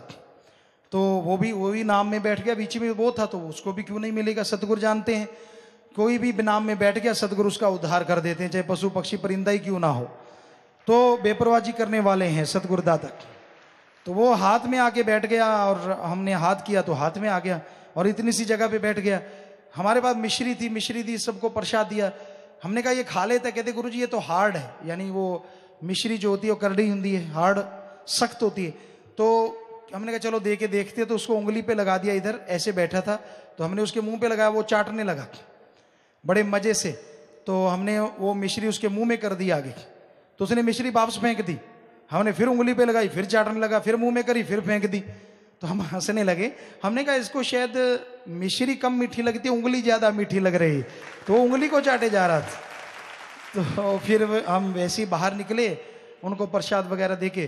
तो वो बिल्ली का बच्चा हमारे साथ साथ वो तो उनको छोड़ के आ गया। उन्होंने पालतू बना रखा था, उनके साथ ही ना चले हमारे साथ साथ कभी हमारे पैरों में आ जाए, कभी आगे आगे रुक जाए। तो हमने कहा, साइड में हो जा तो वो ऊपर चढ़ गया। हमने कहा, नीचे आ जा तो वो नीचे आ गया। हमने कहा, उधर बैठ जा तो उधर बैठ गया। तो वो हैरान थे, घर वाले की इतना कहना तो हमारा नहीं मानता। हमने कहा, ये तो पशु बिल्ली पशु होके करे पहचान जी। बेबुरा जी के भजन है कि हाथी पशु होके करे पहचान जी। वो पहचान लेता है कि कोई फकीर है, आया है, मालिक की बात सुनाने। तो पशु पहचान लेते, कई आदमी पशुओं से भी बदतर होते हैं, उनको समझ नहीं आती, ये बात अलग है। जी। डॉक्टर सारिका इंसान, सिविल अस्पताल सरसा से। यदि कोई शिशु जन्म के एक दो महीने पहले पैदा हो जाए तो मालिक ने क्या उसके गर्भ से निकलने की पुकार जल्दी सुन ली? यदि सुन ली तो क्या यह फलदायक हुआ या नहीं? कई बार कर्मों का असर होता है। उसके कर्म ऐसे होते हैं कि उसे मातलोक में जल्दी आके और तड़फना होता है और बीमारी सहन करनी होती है। ये कर्मों का लेन देन है। ईशा और प्रदीप इंसान सुखसागर कॉलोनी से। मेरे पति की रीढ़ की हड्डी का ऑपरेशन बताया था। रूहानी थिएटर में जाने के बाद पिताजी बिना ऑपरेशन के ठीक हो गए और हमें लाखों का फ़ायदा भी हुआ जी सतगुरु का रहमत है बेटा हम तो खाकसार हैं। वो मौला है जो भावना से जाता है उसे कोई कमी नहीं छोड़ते। अमन शास्त्रम जी बाई स्कूल से आप जी ने कहा कि जब तक घर नहीं पहुँचते तो सत्संग का फल मिलता रहता है। हम पिताजी हॉस्टल में रहते हैं हम घर जाते नहीं हमें सत्संग का फल क्या घर जाने तक मिलता रहेगा जी? तो आपका हॉस्टल ही घर है। घर से मतलब यहाँ आप रह रहे हैं। ये मतलब नहीं है कि घर वो जो सारा परिवार रह रहा है घर से हमारा मतलब है आप यहाँ रहते हैं। ज़्यादातर समय गुजारते हैं तो आप हॉस्टल में रहते हैं तो वहाँ आपको खुशियाँ मालिक देगा। शेर सिंह इंसान महेंद्रगढ़ से हमारे घर के चारों तरफ़ काल का बड़ा भारी ज़ोर है सभी मनमुखी हैं हम सत्संग में आते हैं वो सब जलते हैं। ईर्षा करते हैं सियाने से कुछ करवा दिया हमको बड़ा परेशान कर रखा है इनसे बचाना जी। अरे अरे अरे आपका मन भरम खा गया। कभी राम नाम वालों को भी कोई कुछ कर सकता है? सियाने नहीं वो मूर्ख होते हैं आप मूर्ख ना बनो। कोई परवाह ना करो किसी से कुछ लेके ना खाओ बस। क्योंकि आजकल इसमें कुछ मेडिसिन डाल देते हैं आदमी पगला जाता है। सो ऐसी चीज़ें खाओ ना बाकी आपका कोई कुछ नहीं कर सकता। मचद्या नु मच लेने दे फिक्री ना करो। सुमन करो सतगुर सबका है। वो किसी का गुलाम नहीं प्यार करो मालिक से। बस टेंशन मत लो। परवेश इंसान पूज्य पिताजी धन धन सतगुरु तेरा ही आसरा का नारा बोलने से ही क्या मुक्ति मिल जाएगी जी? ये नारा बोलने से दोनों जहान में हाजिरी ज़रूर मंजूर होती है क्योंकि गुरु के वचन है। धन धन कि हे सतगुर, हे अल्लाह, हे वाहिगुरु, तू धन्य है। हम तेरा धन्यवाद करते हैं। सतगुर, यानी सारे धर्मों का साझा शब्द। ओम हरि अल्लाह, वाहिगुरु, गौड़, खुदा, रब, हरि, मालिक, का मतलब सतगुर। तेरा ही आसरा, तेरा ही सहारा है। ये नारा लगाने से ज़ुबान पवित्र होती है और मस्ताना जी के महाराज के वचन है कि उसका मंजूर, वहाँ दोनों दरगाह में भी मालिक का नारा मंजूर होगा, जो सच्चे दिल से लगाएगा। दाने इंसान। पूज्य गुरु जी आप जी ने नोटों का हार पहनाया था उसका क्या करना चाहिए? भाई संभाल के रख लीजिए आप बाकी जैसी आपकी इच्छा वैसे कर लीजिए। महेश इंसान पदमपुर से आप जी की दया मेहर से मेरे एक बेटा है जो कि डेढ़ साल का है वो अभी पूरी तरह बोलना भी नहीं सीखा है लेकिन आप जी के स्वरूप को देखते ही दोनों हाथ जोड़कर दादाजी दादाजी कहने लगता है पिताजी क्या वो आप जी को दादाजी कह सकता है या पिताजी ही कहें? भाई अभी वो बोलना सीख रहा है सारी संगत पिताजी कहती है तो वो भी पिताजी कहे तो बढ़िया है अभी सीख रहा है चलो कोई बात नहीं। बलदेव सिंह लुधियाना से एक आदमी जिसने नाम ले रखा है, लेकिन वो नशे और बुरे कर्म करता है, और एक आदमी बिना नाम दान लिए सभी अच्छे कर्म करता है। तो इन दोनों में से अच्छा कौन है नाम लेने वाला और या अच्छे कर्म करने वाला? अच्छे कर्म अच्छे हैं, पर नाम से ही मुक्ति संभव है। नाम लेके अगर कोई बुरे कर्म करता है तो उसको इस जहान में कर्मों का फल झेलना पड़ेगा। ऊपर हानि मंडलों में उसको सजा मिलेगी लेकिन भयानक सजा भोगने के बाद वो आत्मा जाएगी मालिक की गोद में इधर उधर भटकेगी नहीं क्योंकि पूर्ण गुरु जिसे नाम दे देता है ऐसी मोहर लगाता है कि अनामी लेके ही जाती है। नाम नहीं लिखा इन्होंने। शराफ और आशीर्वाद में से कौन सी चीज़ बड़ी है? क्या एक बार दिया गया शराफ कभी माफ़ नहीं होता जी? शराफ अगर कोई देता है तो पूर्ण सदगुरु पीर फकीर पल में उसे माफ़ करवा देता है। लेकिन आशीर्वाद अगर देता है वो कभी रुकता नहीं वो ज़रूर फलता फूलता है। समैली इंसान अरनीवाड़ा से जो झूठ बोलकर किसी की ज़िंदगी में मुश्किल पैदा करता है क्या उसको मालक सजा देता है जी? जी हाँ बुरे कर्म की सजा ज़रूर मिलती है। पत्रकार जीवन रामगढ़ से पूज्य पिताजी डेरा सच्चा सौदा च रब दा वासा है सब कुछ चिट्टे चानन वांग दुनिया दे सामने है दो जहाना दे वाली, तुसी हो सिर्फ़ तुसी कवाली जिस दी टेक, तू वाली दो जहान दा पर कोई कोई जानदा है इस ਨੂੰ बदल के तू वाली दो जहान दा हुण तां सारा जग जानदा कर दो जी। नहीं, हम बदलेंगे नहीं भाई, क्योंकि सतगुरु ने जो मुर्शद कामिल ने जो लिखा है, वो अपनी जगह सही है। और यहाँ तक हमारी बात है, हम तो आपको बार बार कहते हैं, हम तो सेवादार खाकसार हैं, करने वाला मालिक दाता रहबर है, वो हर जगह, हर किसी के साथ है। दलीप ढाणी माजरा से। पूज्य पिताजी, महाभारत में भीष्म पितामह, कृपाचार्य आदि ने अधर्म का साथ क्यों दिया? भाई जो पूरा ज्ञान नहीं जानता, कई बार वो मोह ममता में फंस के या किसी न किसी चक्कर में फंस के ऐसा हो जाता है। उसके कर्म चक्कर भी उसका साथ नहीं देते और वो उस तरीके से मालिक का नाम नहीं जब तक कि उसकी आँखें खुल सकें और वो मोह ममता को त्याग के अपने उन फर्जों को त्याग के सच्चे फ़र्ज़ को याद करे। सच्चा फ़र्ज़ सच का साथ देना सच के साथ चलना और सच के लिए कुर्बान हो जाना ही सच है। तो उनकी उतनी आँखें नहीं बनी होंगी इसलिए ये हो पाया। दिनेश इंसान सरसा से संचित क्रम और प्रारब्ध क्रम क्या होते हैं? इंसान पर इनका क्या प्रभाव है? संचित कर्म जन्मों जन्मों के पाप कर्म होते हैं और प्रारब्ध कर्म भी पिछले कर्म जो अच्छे नेक कर्म होते हैं और संचित कर्मों में कई बुरे कर्म होते हैं जिनके जीव को भोगना पड़ता है। कर्मों का दायरा बड़ा ज़बरदस्त है। नाम नहीं लिखा जिनको दसवां द्वार खुलने के बाद नूरी स्वरूप के दर्शन होते हैं क्या उसके सारे कर्म चक्र खत्म हो जाते हैं जो अभी कर्म भोगने होते हैं? दसवां द्वार जब खुल जाता है तो सिर्फ़ मालिक ही चारों तरफ़ नज़र आता है खुशियाँ ही खुशियाँ छा जाती हैं हर कर्म चक्र खत्म हो जाता है। गौरव इंसान श्री गंगानगर से एक बच्चा अपने माँ बाप का कर्ज कैसे उतार सकता है जी? अच्छे नेक कर्म करके उनका नाम रोशन करे और मालिक की भक्ति करके अपने कुलों का उद्धार करे इससे बड़ा फ़र्ज़ कर्तव्य और कोई बनता ही नहीं और इस तरह से वो अपना ऋण उतार सकता है माँ बाप की सेवा भी करे। कमल इंसान रतिया से पिता जी क्या वास्तव में जोड़ियाँ ऊपर से बनकर आती हैं या इंसान धरती पर जोड़ियाँ बनाता है? आ, ये तो होता है कि माना जाता है कि संस्कार ऐसे होते हैं कि मालिक ऐसे संस्कार जोड़ के भेजता आपको कहा था कर्म चक्र होता है उसी की वजह से माँ बाप पति पत्नी ये रिश्ते बनते रहते हैं।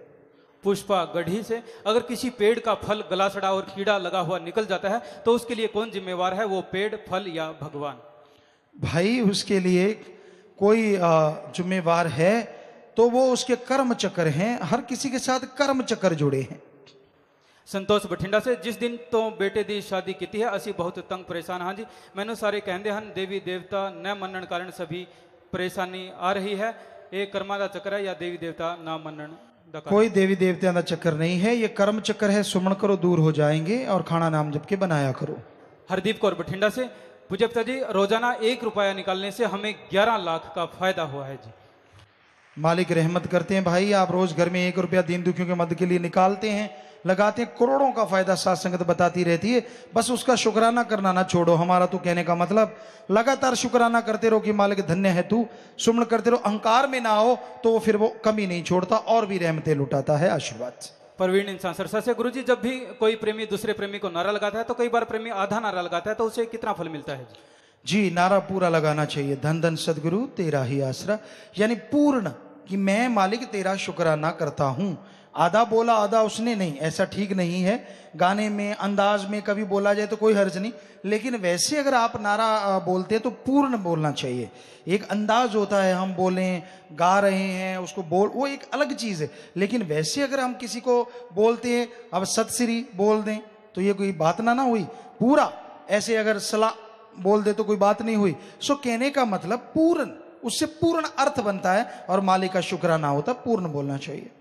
अजय नागर इंसान जिस श्वास में सुमरन नहीं हो सका उसकी पूर्ति कैसे कर सकते हैं जी? सुमन के ही द्वारा जल्दी से। डॉक्टर कृष्ण इंसान नहला से ब्लॉक मोहनपुर रोहित से पिताजी बच्चे ने मार्च तीसरे हफ़्ते में सत्संग 2009 को गुरुमंत्र दिलवाया था तब वह सात वर्ष का था और उसे नामदान याद नहीं और वह यह तो याद है कि कब और कहाँ लिया था अब उसे दोबारा नामदान एक दिन आप नाम उसे याद करवा दीजिए एक दिन जिसका आपका नाम सही है उसे याद करवा दीजिए तीसरा सुने ना।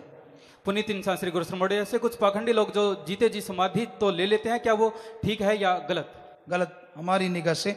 जीते जी मरना राम नाम से सुन समाधि में जाना तो अच्छा है लेकिन ये हमारे ख्याल से तो सही नहीं है। अपना अपना नज़रिया है। इन्हीं का दूसरा प्रश्न क्या एक नामधारी जीव की आत्मा भी निकलते समय दुख पाती है जी? जी नहीं वो दिखने में हो सकता है किसी किसी के साथ ऐसा लगे कि उसका टट्टी पेशाब निकला या उसको दर्द हुआ लेकिन आत्मा को तकलीफ़ मालिक नहीं आने देता। शरीर में कभी कभार उसके पाप कर्मों की वजह से ये असर हो सकता है।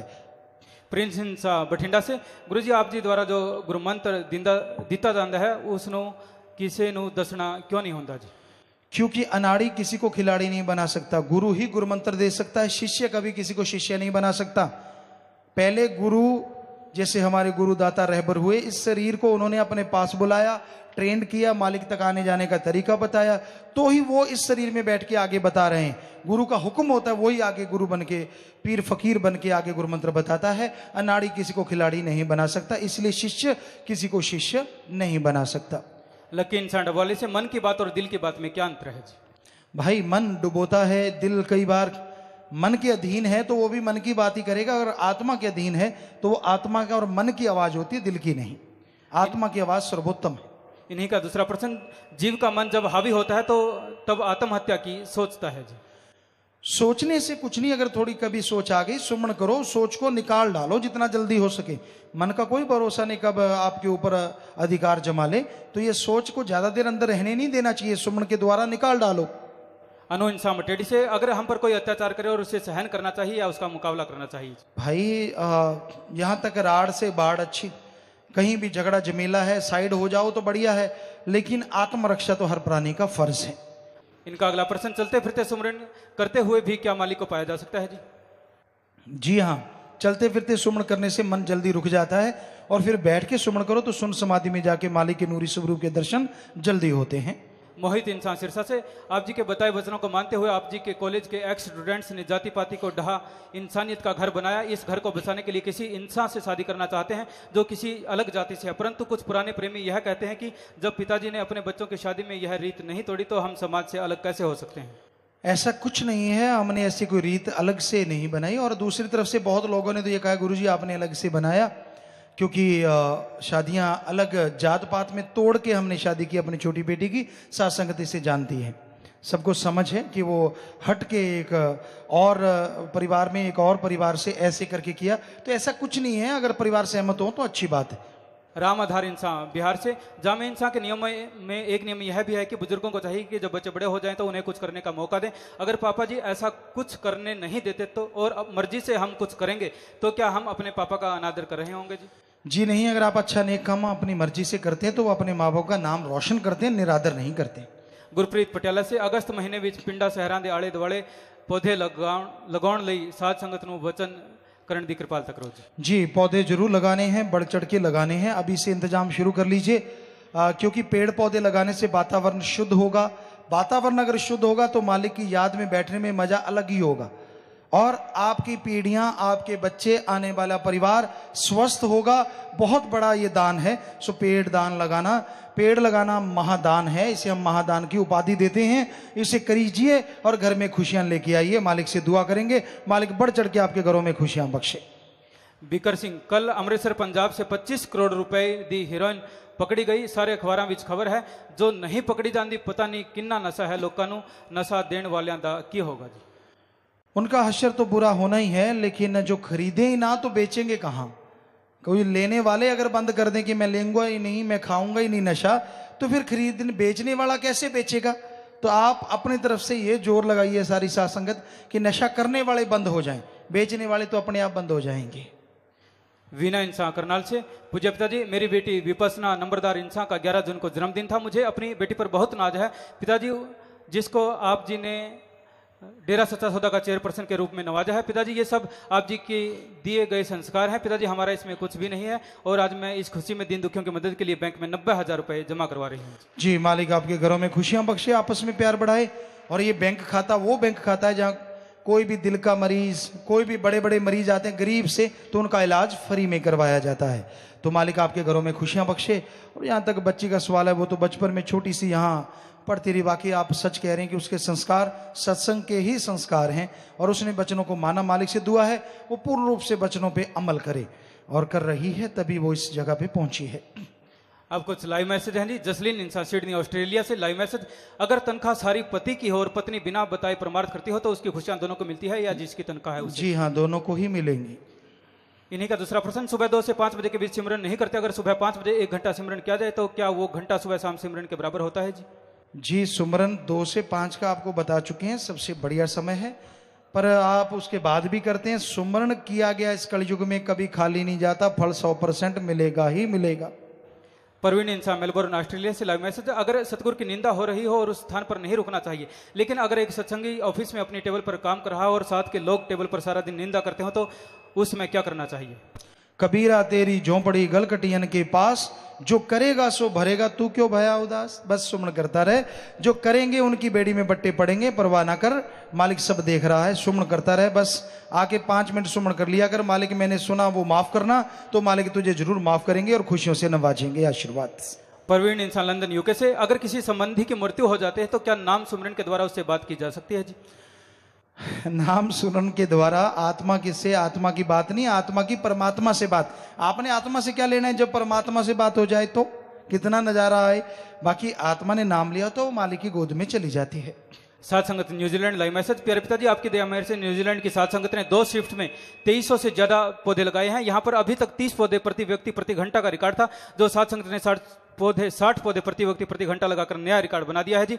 वहाँ बरसात होनी थी पर आप जी की रहमत से उस दिन बरसात नहीं हुई। इसके लिए वहाँ के जो पार्लियामेंट मेंबर डॉक्टर केम कोल्डर, जॉन स्मिथ, ट्यूडी व लॉरेंस फरारी ने आप जी का बहुत बहुत धन्यवाद किया है जी। हलवा बनाया है, प्रसाद बनाने के लिए अर्ज़ कर रहे हैं। जी, आप सब लोग नेट पे बैठे हैं न्यूजीलैंड में तो आप सबको बहुत आशीर्वाद और आपने जो हलवा बना रखा है, मालिक से दुआ करते हैं वो प्रसाद बने। सब लोग ले लेना, मालिक खुशियाँ बख्शे। ऐसे अच्छे नए काम करते रहो, दुनिया के कोने कोने में हज़ारों की तादाद में सात संगत बैठी है। ऐसे काम करो सब। अगस्त में शुरू कर लीजिए और लगातार लगे रहिए। आपको ये मालिक और खुशियाँ दे। आशीर्वाद। वृंदा इंसा सिडनी ऑस्ट्रेलिया से। प्यारे पिताजी अगर हमारे हिस्से का प्रसाद कोई और खा लेता है तो क्या हमें पाप चढ़ता है? अगर उस प्रसाद को खाने से हमारे कर्म कटने होते हैं तो क्या जब वो प्रसाद कोई और खा लेता है तो उसके कर्म कट जाते हैं? क्या यह है उसके हिस्से में पहले से ही लिखा होता है? लिखा नहीं होता। आप भूल गए इसमें। हिस्से से कहाँ लिखा हो गया? तो प्रसाद आप ना खुद का खाना चाहिए खुद को। हाँ फकीर ये कह दें तेरे परिवार के लिए तो परिवार का भी भला होता है। सो प्रसाद अगर कोई ले लेता है उसका फ़ायदा कुछ ना कुछ तो ज़रूर होता है। Gurdeep Kaur Ajman city UAE से लाइव मैसेज प्यारे पिताजी। सत्संग पर जब आप जी लंगर पर दृष्टि डालते हो तो हम विदेश वालों का भी दिल लंगर खाने को करता है तो क्या विदेशों के साथ संग लंगर बनाकर आप जी से दृष्टि डलवा सकते हैं जी? भाई वो तो मर्ज़ी आपकी। आप प्रसाद पे तो दृष्टि डलवाते ही हैं आपकी इच्छा है।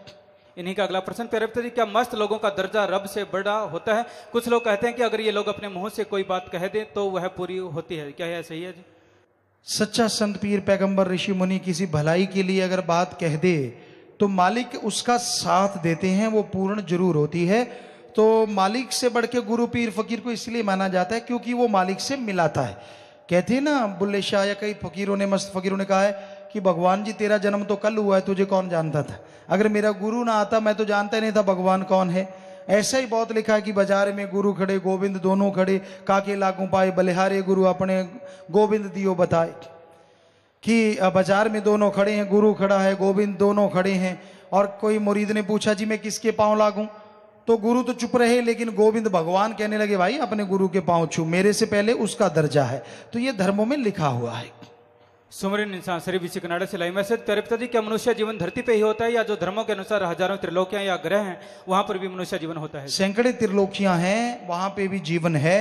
अब तो विज्ञान ने भी उस तरफ़ कदम बढ़ा लिए हैं। बहुत सारे साइंटिस्ट ये मानने लग गए हैं कि और जगहों पर ज़िंदगी है। कई जगहों से अंतरिक्ष प्राणी आ चुके हैं, आदमी आ चुके हैं, उन्हें लोग मान रहे हैं। रिसर्च जारी है, लेकिन बहुत जगहों पर ज़िंदगी है। ये सच है, वेदों शास्त्रों में, ग्रंथों में लिखा हुआ है, एक त्रिलोकी नहीं, सैकड़े त्रिलोकियाँ एक चंद्रमा सूर्य नहीं, सैकड़ों चंद्रमा सूर्य है। ये विज्ञान मानेगी एक दिन ज़रूर। सात संगत योई लाइव मैसेज प्यारे पिताजी, आप जी की रहमत से यूएई के साथ संगत ने Sheikh Khalifa medical city blood bank में सैंतीसवां ब्लड डोनेशन कैंप लगाया, जिसमें कुल बयालीस यूनिट रक्तदान हुआ। सात संगत इसी तरह से मानवता की सेवा करने का आशीर्वाद चाहती है। चौदह जून को world world blood donor day पर यूएई की दस संगठनों में से डेरा सच्चा सौदा को सम्मानित भी किया गया। स्क्रीन पर सर्टिफिकेट भी मौजूद है जी। जी, शाबाश शाबाश। दुबई में वो लोग आपको सर्टिफिकेट दे रहे हैं। डेरा सच्चा सौदा ऑर्गेनाइजेशन ऐसा लिखा हुआ है और वो लोग शेख लोग आपको वो दे रहे हैं। तो बहुत बड़ी बात, मानवता के कामों में कोई खिताब लेना या कोई खिताब देना बहुत बड़ी बात है। शाबाश, और अच्छे नए काम करो। अरब कंट्रियों में भी आपने धूम मचा रखी है, सो मालिक खुशियाँ बख्शे। शाबाश। तो थोड़ा सा भजन रह रहा, उसके बाद फिर से आपकी सेवा में अर्ज़ करते हैं। हाँ जी, चलिए। तन साफ़ बनाते हो, मन साफ़ बनाया करो।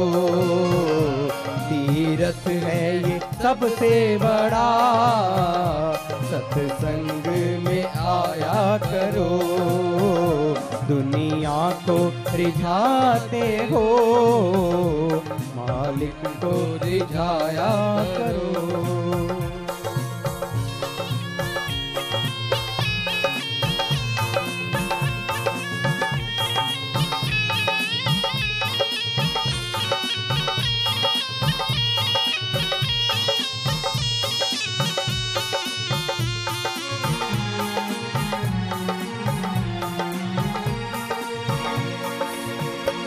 काम तो जीव बड़े है करता। लगा रहे दिन रात है। काम तो जीव बड़े है करता। लगा रहे दिन रात है। काम आत्मा के जो आए। वो ना समझे बात है। सब संतों का कहना है। सत्संग में आया करो। दुनिया को रिझाते हो। मालिक को रिझाया करो।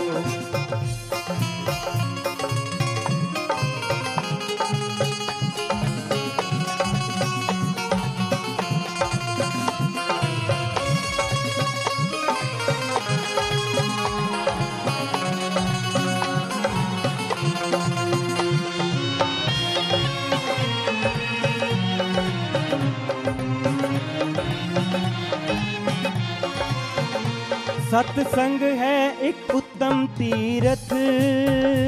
मैल मन की यहाँ धुलती है।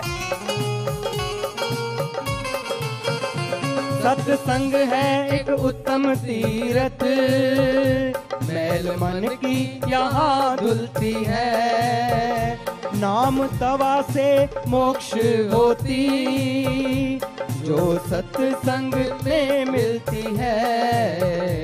नाम साबुन लगा करके मन साफ़ बनाया करो। तीरथ है सबसे बड़ा।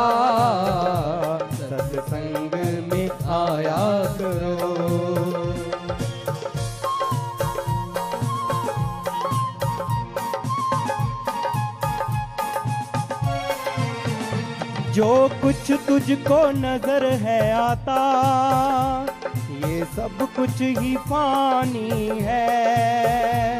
इस ज़िंदगी का क्या भरोसा?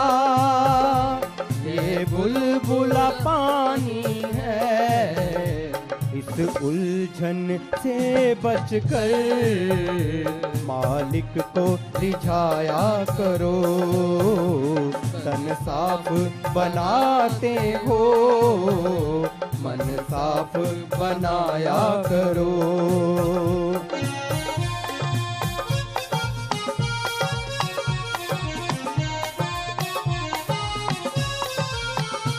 सब कर्मों से उत्तम ऊँचा।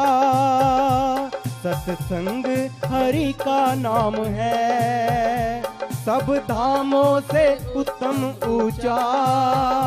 सत्संग तीर्थ धाम है। शासत नाम जी कहते हैं। तीर्थ पे नहाया करो, तन साफ़ बनाते हो। मन साफ़ बनाया करो, तीरथ है सबसे बड़ा। सत्संग में आया करो। दुनिया को रिझाते हो, मालिक को रिझाया करो। धन धन, सतगुरु, तेरा तो प्यारी सासंग जियो, भजन में आपने सुना, राम नाम की चर्चा, सासंगत झूमती है। कई बार कई नए जीव आते हैं, समझ नहीं आता। इधर भी कुछ बच्चे नाच रहे थे। तो सासंगत जी आपको बताएँ, इनको समाज में पहले खुसरा या कोई नाम और दिए जाते थे, लेकिन अब इनका सुख दुआ समाज नाम रखा है, और ये वो बच्चे हैं वर्दियाँ पहन रखी हैं शास्त्रम जी गिन्नेस वेलफेयर फोर्स विंग की, कोई किसी का दुदकारता नहीं इन्हें, और ये खूब ज़ोर से सेवा भी करते हैं, नाचते गाते हैं, अभी नाच गा रहे थे, शुरू से जब से शब्द चला है तो ये और भी बच्चे, दो चार बैठे हैं यहाँ तो आशीर्वाद बेटा, आशीर्वाद आशीर्वाद। कई बार होता है, वैसे नाचना कोई बुरी चीज़ नहीं है, क्योंकि धर्मों में लिखा है, नाच रे मन नाच, गुर क्या आ गया नाच। कहा नहीं लिखा? बुल्ले शाह, ऐसे नहीं बुल्ले शाह बना। उसके नाचने ही बुल्ले से बुल्ले शाह बना दिया। शाह इनायत ने ऐसी पदवी बख्श दी कि उसका शाह इनायत को लोग कम जानते हैं, बुल्ले शाह का नाम आज भी अमर है। सो कहने का मतलब ये कई लोगों के अंदर दिमाग में आ जाता है कि यार ये क्या चीज़ है? तो यही तो चीज़ है। पर जो मस्ती में मालिक की दया से नाचता है, वो मुजरा मालिक दरगाह में मंजूर भी कर लेते हैं। सो आगे भजन में आया, जी, काम तो जी बड़े है, करता लगा रहे, दिन रात है। काम आत्मा के जो आए, वो ना समझे बात है। सब संतों का कहना सत्संग में आया करो। चुगली करवा लो दुनिया भर की। निंदा करवा लो टांग खिंचाई। आम ये आजकल तो बात ही हो गया आया यार, गप शप मारिए। तो बड़े गप शप मारते हैं और उस गप शप में घंटों गुजर जाते हैं। कुछ पता नहीं चलता। चुगली निंदा करने बैठते हैं, एक चुगली सुनाता है, तीन चार लोग अच्छा अच्छा ऐसे बोलते हैं जैसे उनको नशा मिल रहा हो। उछल उछल के पड़ते हैं। चुगली निंदा में टाइम का पता नहीं चलता। कहीं अल्लाह वाहिगुरु की याद में बैठना पड़ जाए, मुँह खोल खोल के जंबाही आवासियाँ लेते हैं। ऐसी जगह खाज खुजली करते हैं, यहाँ पहले कभी ना हुई हो। वो वो बातें याद आती हैं जो पहले दिमाग में होती भी नहीं। तो राम नाम जपना मुश्किल है इस कलयुग में। बाकी सारा सारा दिन जीव कर सकता है। मगज खपाई करना, चुगली निंदा करना, बुराई गाना, बुरी सोचना, बुरी चीज़ों में खोए रहना, तरह तरह के बहाने बनाना, ये चलता है सब कुछ। लेकिन राम नाम के लिए आप इतने भाई बैठे हो, ताश के पत्ते खेलते हो, जब खाली होते हो इधर उधर की बातें करते हो, कितने के लोग ऐसे बुज़ुर्ग नौजवान हैं जो जब खाली होते कहते हो, आजा यार बैठ के नाम जपते हैं, आजा यार बैठ के वाहिगुरु अल्लाह राम की चर्चा करते हैं। कोई कोई होगा। बड़ा मुश्किल है इस कलयुग में ऐसा होना। यही सच्चाई है। गप मारने बैठ जाएँगे, ताश के पत्ते खेलेंगे और बहुत कुछ करेंगे। लेकिन खाली होके राम नाम जपना। राम नाम जपने में तो यूँ लगता है जैसे बोझ उठा लिया हो। जाप करके फिर यूँ कहता मालिका, आधा घंटा देता तेनू। बता, मालिक को खाक दे दिया, खुद ने पता नहीं कितना कुछ मांग लिया उस आधे घंटे में। सारी दुनिया मांग के तो बैठा है, ऊपर से कहता मालिक, तुझे दे दिया। ये तो बहम है तुझे। सिमरन पाँच मिनट करता है, पाँच हज़ार चीज़ें माँगता है। रिमोट और ढूंढता है, सतगुरु, तेरा रिमोट मेरे हाथ में हो, जो बटन दबाऊं प्रकट हो जाए, जो चीज़ मांगू, आ जाए, फिर तो कहना ही क्या? अब आप ना कुछ करना, डक्का तोड़ना नहीं, आखा मोड़ना नहीं। सो ये हाल हुआ पड़ा है। कहना मानता नहीं है, अमल करता नहीं है, और ढूंढता है दोनों जहान की खुशियाँ। ये ऐसे नसीब नहीं होती। वचन मान के देखो, अमल करके देखो। कहने की ज़रूरत नहीं पड़ेगी।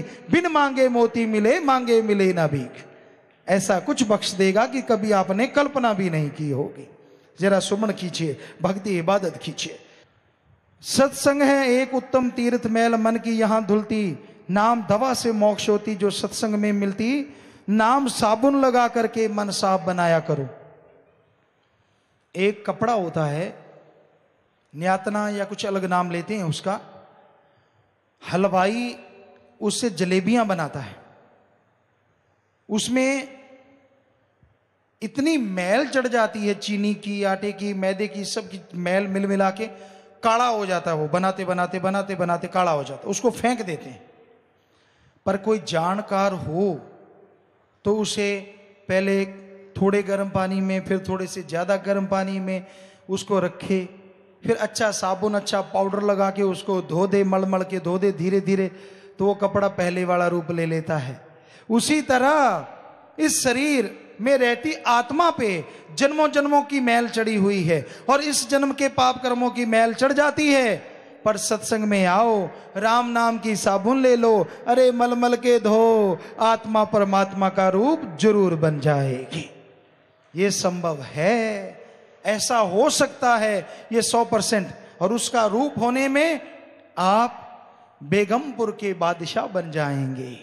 यहाँ कोई गम ही नहीं होगा। वहाँ कबीर जी ने लिखा है, हे सखी, वहाँ ना दुख है, ना सुख है, ना अशांति है, ना शांति है। किसी ने राजस्थान में हमसे सवाल किया, गुरुजी, जब वहाँ ऐसा कुछ है ही नहीं जाने का क्या फ़ायदा? हमने कहा, ए भाई, वहाँ ऐसा परमानंद है कि सुख तब होता है जब दुख थोड़ा आया हो। फिर ही पता चलता है ना कि पहले दुख था, अब सुख आ गया। अशांति होती है तो शांति आती है, पता चलता है शांति है। और जहाँ हमेशा ही परमानंद, परमानेंटली आनंद, नशा लज्जत रहती है, वो देश है, कबीर जी कह रहे, वहाँ आ जा, फिर देख नजारे ही नजारे लूटता रहेगा। सो वो देश को निज धाम सचखंड सतलोक अनामी कहा जाता है। और आप उसे देख सकते हैं, सच्चा सौदा।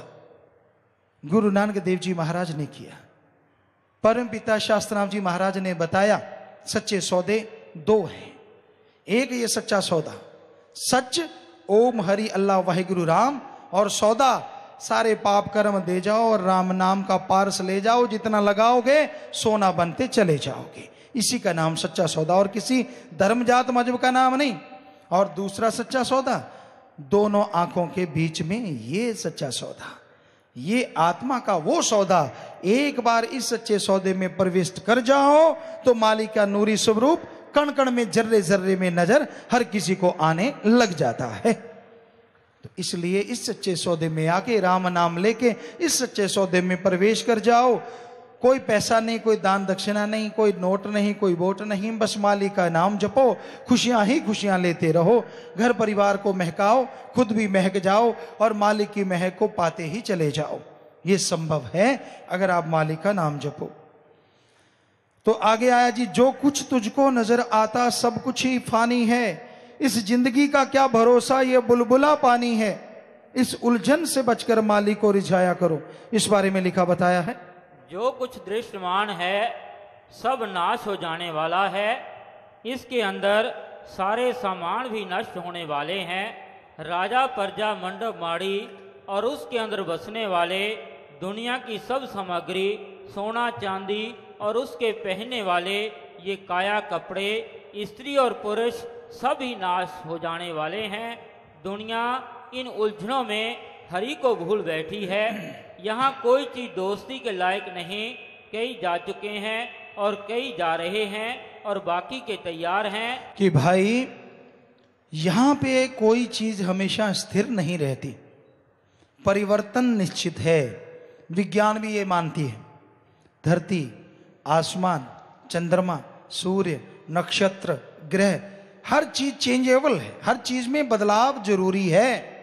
पर एक ऐसा है, जो सदियों से जैसा था, वैसा है और वैसा ही रहेगा।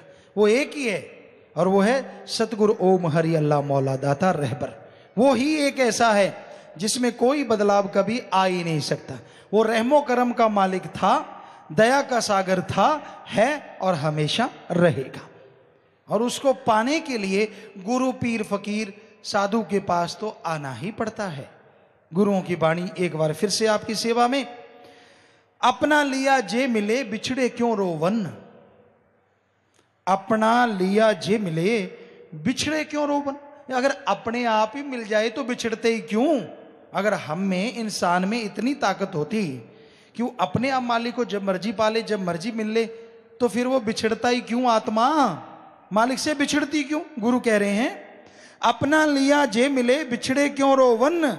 साधु संग प्राप्ते, नानक रंग मानन।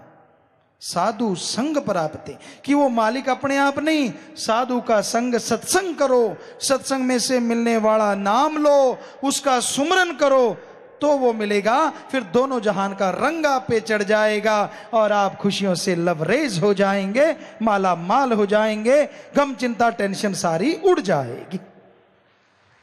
तो ये धर्मों का विचार है, जो कि सौ परसेंट सच है। कोई माने तो पढ़ लिया, पढ़ते जाते हैं। कई जगह हमने, हम सभी धर्मों को मानते हैं।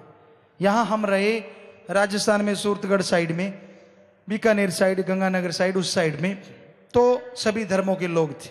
घर में शुरू से ही माँ बाप के पास श्री गुरु नानक देव जी की वो जन्म साखी थी। अब भी है, बहुत पुरानी बहुत पुरानी, जिसके अक्षर बहुत पुराने। और भागवत गीता और सुंदर गुटका बहुत सारे धर्मों के और भी पवित्र ग्रंथ। तो हमने जब आँख खोली, बड़े हुए, सदगुरु की कृपा हुई, पाँच साल के गुरुमंत्र सदगुरु ने दिया, अपने चरणों में जोड़ लिया तो वो सारे पवित्र ग्रंथ पढ़े। तो उनमें जो नज़ारा, जो खुशी मिलती है, लेकिन मिलती उसी को जो खुले दिमाग से पढ़े। एक धर्म को मानने वाला तो कहेगा, मेरा ही सही है, बाकी तो सारे गलत नहीं, ये ठीक नहीं है। सच्चाई यही है कि जो सुन के, विचार के अमल करता है, वो ही नजारे लूटता है। उसी को खुशियाँ मिलती हैं। और धर्मों का ये सार है, धर्मों का ये निचोड़ है कि भाई, मालिक की तमाम खुशियाँ अगर पाना चाहते हो तो बचनों पे अमल करो। पढ़ो, सुनो और विचार करो। तो नज़ारे प्राप्त होंगे। तो अब थोड़े से सवाल, शायद कुछ एक सवाल हैं, फिर आपको लास्ट में बताते हैं। हाँ जी, बोलिए जल्दी से। निधि इंसान, दीपिका इंसान बठिंडा से एक ब्रह्मचारी के लिए भाई बनाना कहाँ तक ठीक है क्या? यह दुनियादारी में उलझना है। इस बारे में पेरेंट्स को भी पता नहीं। हम बहुत कंफ्यूज रहते हैं। सौ परसेंट दुनियादारी में उलझना है। एक सौ एक परसेंट, हज़ार परसेंट। मालिक ने उनके परिवार में उनको दे रखा है जो कुछ बहुत है। वो अगर मनमता चलते हैं, ऐसे बन सारी दुनिया ही उनके भाई हैं, सारी दुनिया बहनें हैं, सारी दुनिया माँ है, सारी दुनिया बाप है। ये है उनका रिश्ता सारे समाज से। अलग से पर्सनली रिश्ता जो रखते हैं रिश्ता रखने वालों का बुरा हाल और बनाने वालों का, क्योंकि ये गलत। आज महाघोर कलयुग है, यहाँ रिश्ते एक परिधि तक नहीं रहते सतगुरु जानता है। उनका रूप बदल जाता है, इसलिए ये गलत है। हमारे नज़रिए से ये ठीक नहीं है, क्योंकि जो ब्रह्मचारी, सदब्रह्मचारी बनता है, वो सारे समाज के लिए बनता है, चंद परिवारों के लिए या किसी एक परिवार से प्यार करने के लिए नहीं बनता। वो सारी दुनिया के लिए, सारी दुनिया के हम उम्र के बहन भाई अपने से बड़े माँ बाप और छोटे बेटे बेटी के समान होते हैं सतब्रह्मचारी ब्रह्मचारियों के लिए और सास संगत के लिए भी यही असूल है। तो कोई अलग से बनाता है, बना, जो बन गए उनका भी बुरा हाल, नो, नहीं खुशियाँ मिलती उतनी, और जिन्होंने बनाया उनका तो होना ही है, क्योंकि वो मनमुख चल रहे हैं, गुरुमुख तो चल नहीं रहे। जी, आगे। इन्होंने नाम नहीं लिखा। ये कहते हैं कि मैंने अपनी माँ को बुरा कर्म करते हुए देखा। मेरी माँ ने अपनी गलती छुपाने के लिए कहा कि आपको भी यह काम करना पड़ेगा। आप जिसे अर्ज़ है कि ऐसा बुरा कर्म करने से पहले मुझे मौत आ जाए। भाई, आप सुमण कीजिए, मालिक से दुआ कीजिए कि माता आज कलयुग में कुमाता हुई पड़ी है, इसमें कोई दो राय नहीं। लेकिन वो माता माता ही रहे, इसलिए आप सुमण करके प्रार्थना कीजिए। मालिक से दुआ करेंगे, उनको सद्बुद्धि बख्शे। हनी संगरूर से मुस्लिम धर्म में मांस खाने की इजाज़त क्यों है? उनसे नाम के लिए कहते हैं तो वो कहते हैं कि हमारे धर्म में मांस चलता है। जी उनको पूछिए पवित्र कुरान शरीफ में कहाँ लिखा है कि मांस खाना ज़रूरी है?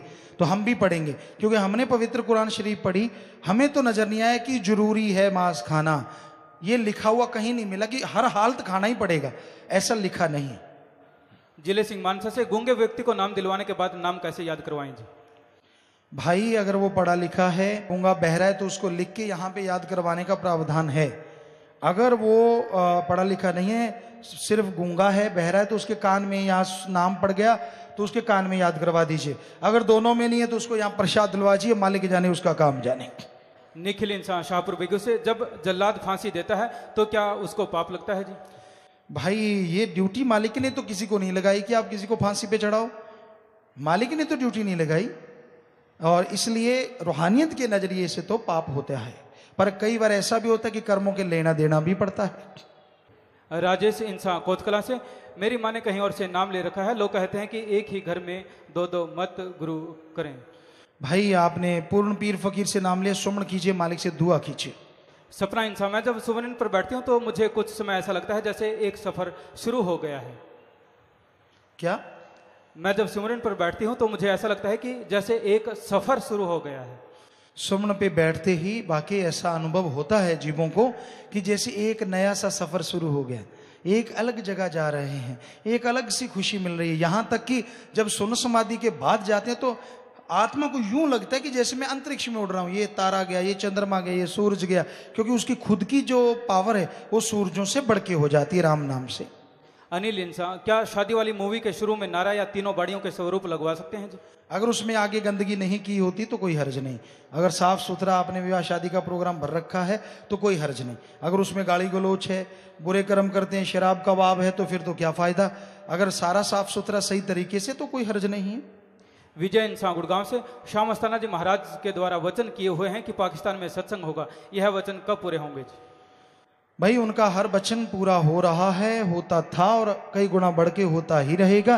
बेप्रवाह मस्ताना जी महाराज, शास्त्राम जी महाराज, एक ही वचन, एक ही चीज़ है। उनके वचन हज़ारों हुए हैं और हज़ारों पूरे हो चुके हैं और हज़ारों करोड़ों रह रहे हैं, वो भी पूरे होके ही रहेंगे। ये उनके वचन है। बाकी अगर ये वचन हुआ है तो पूरा क्यों नहीं होगा? वही करवाने वाले हैं। क्या पता कहाँ कहाँ सत्संग लोग सुन भी रहे हैं। अब तो हर देश में सत्संग हो भी रहा है, क्योंकि ये लाइव पूरी दुनिया में जाता है। आपके नज़रिए से शायद उस तरह से भी हो। बाकी साईं जी के वचन है तो वो तो पूरे होने ही हैं।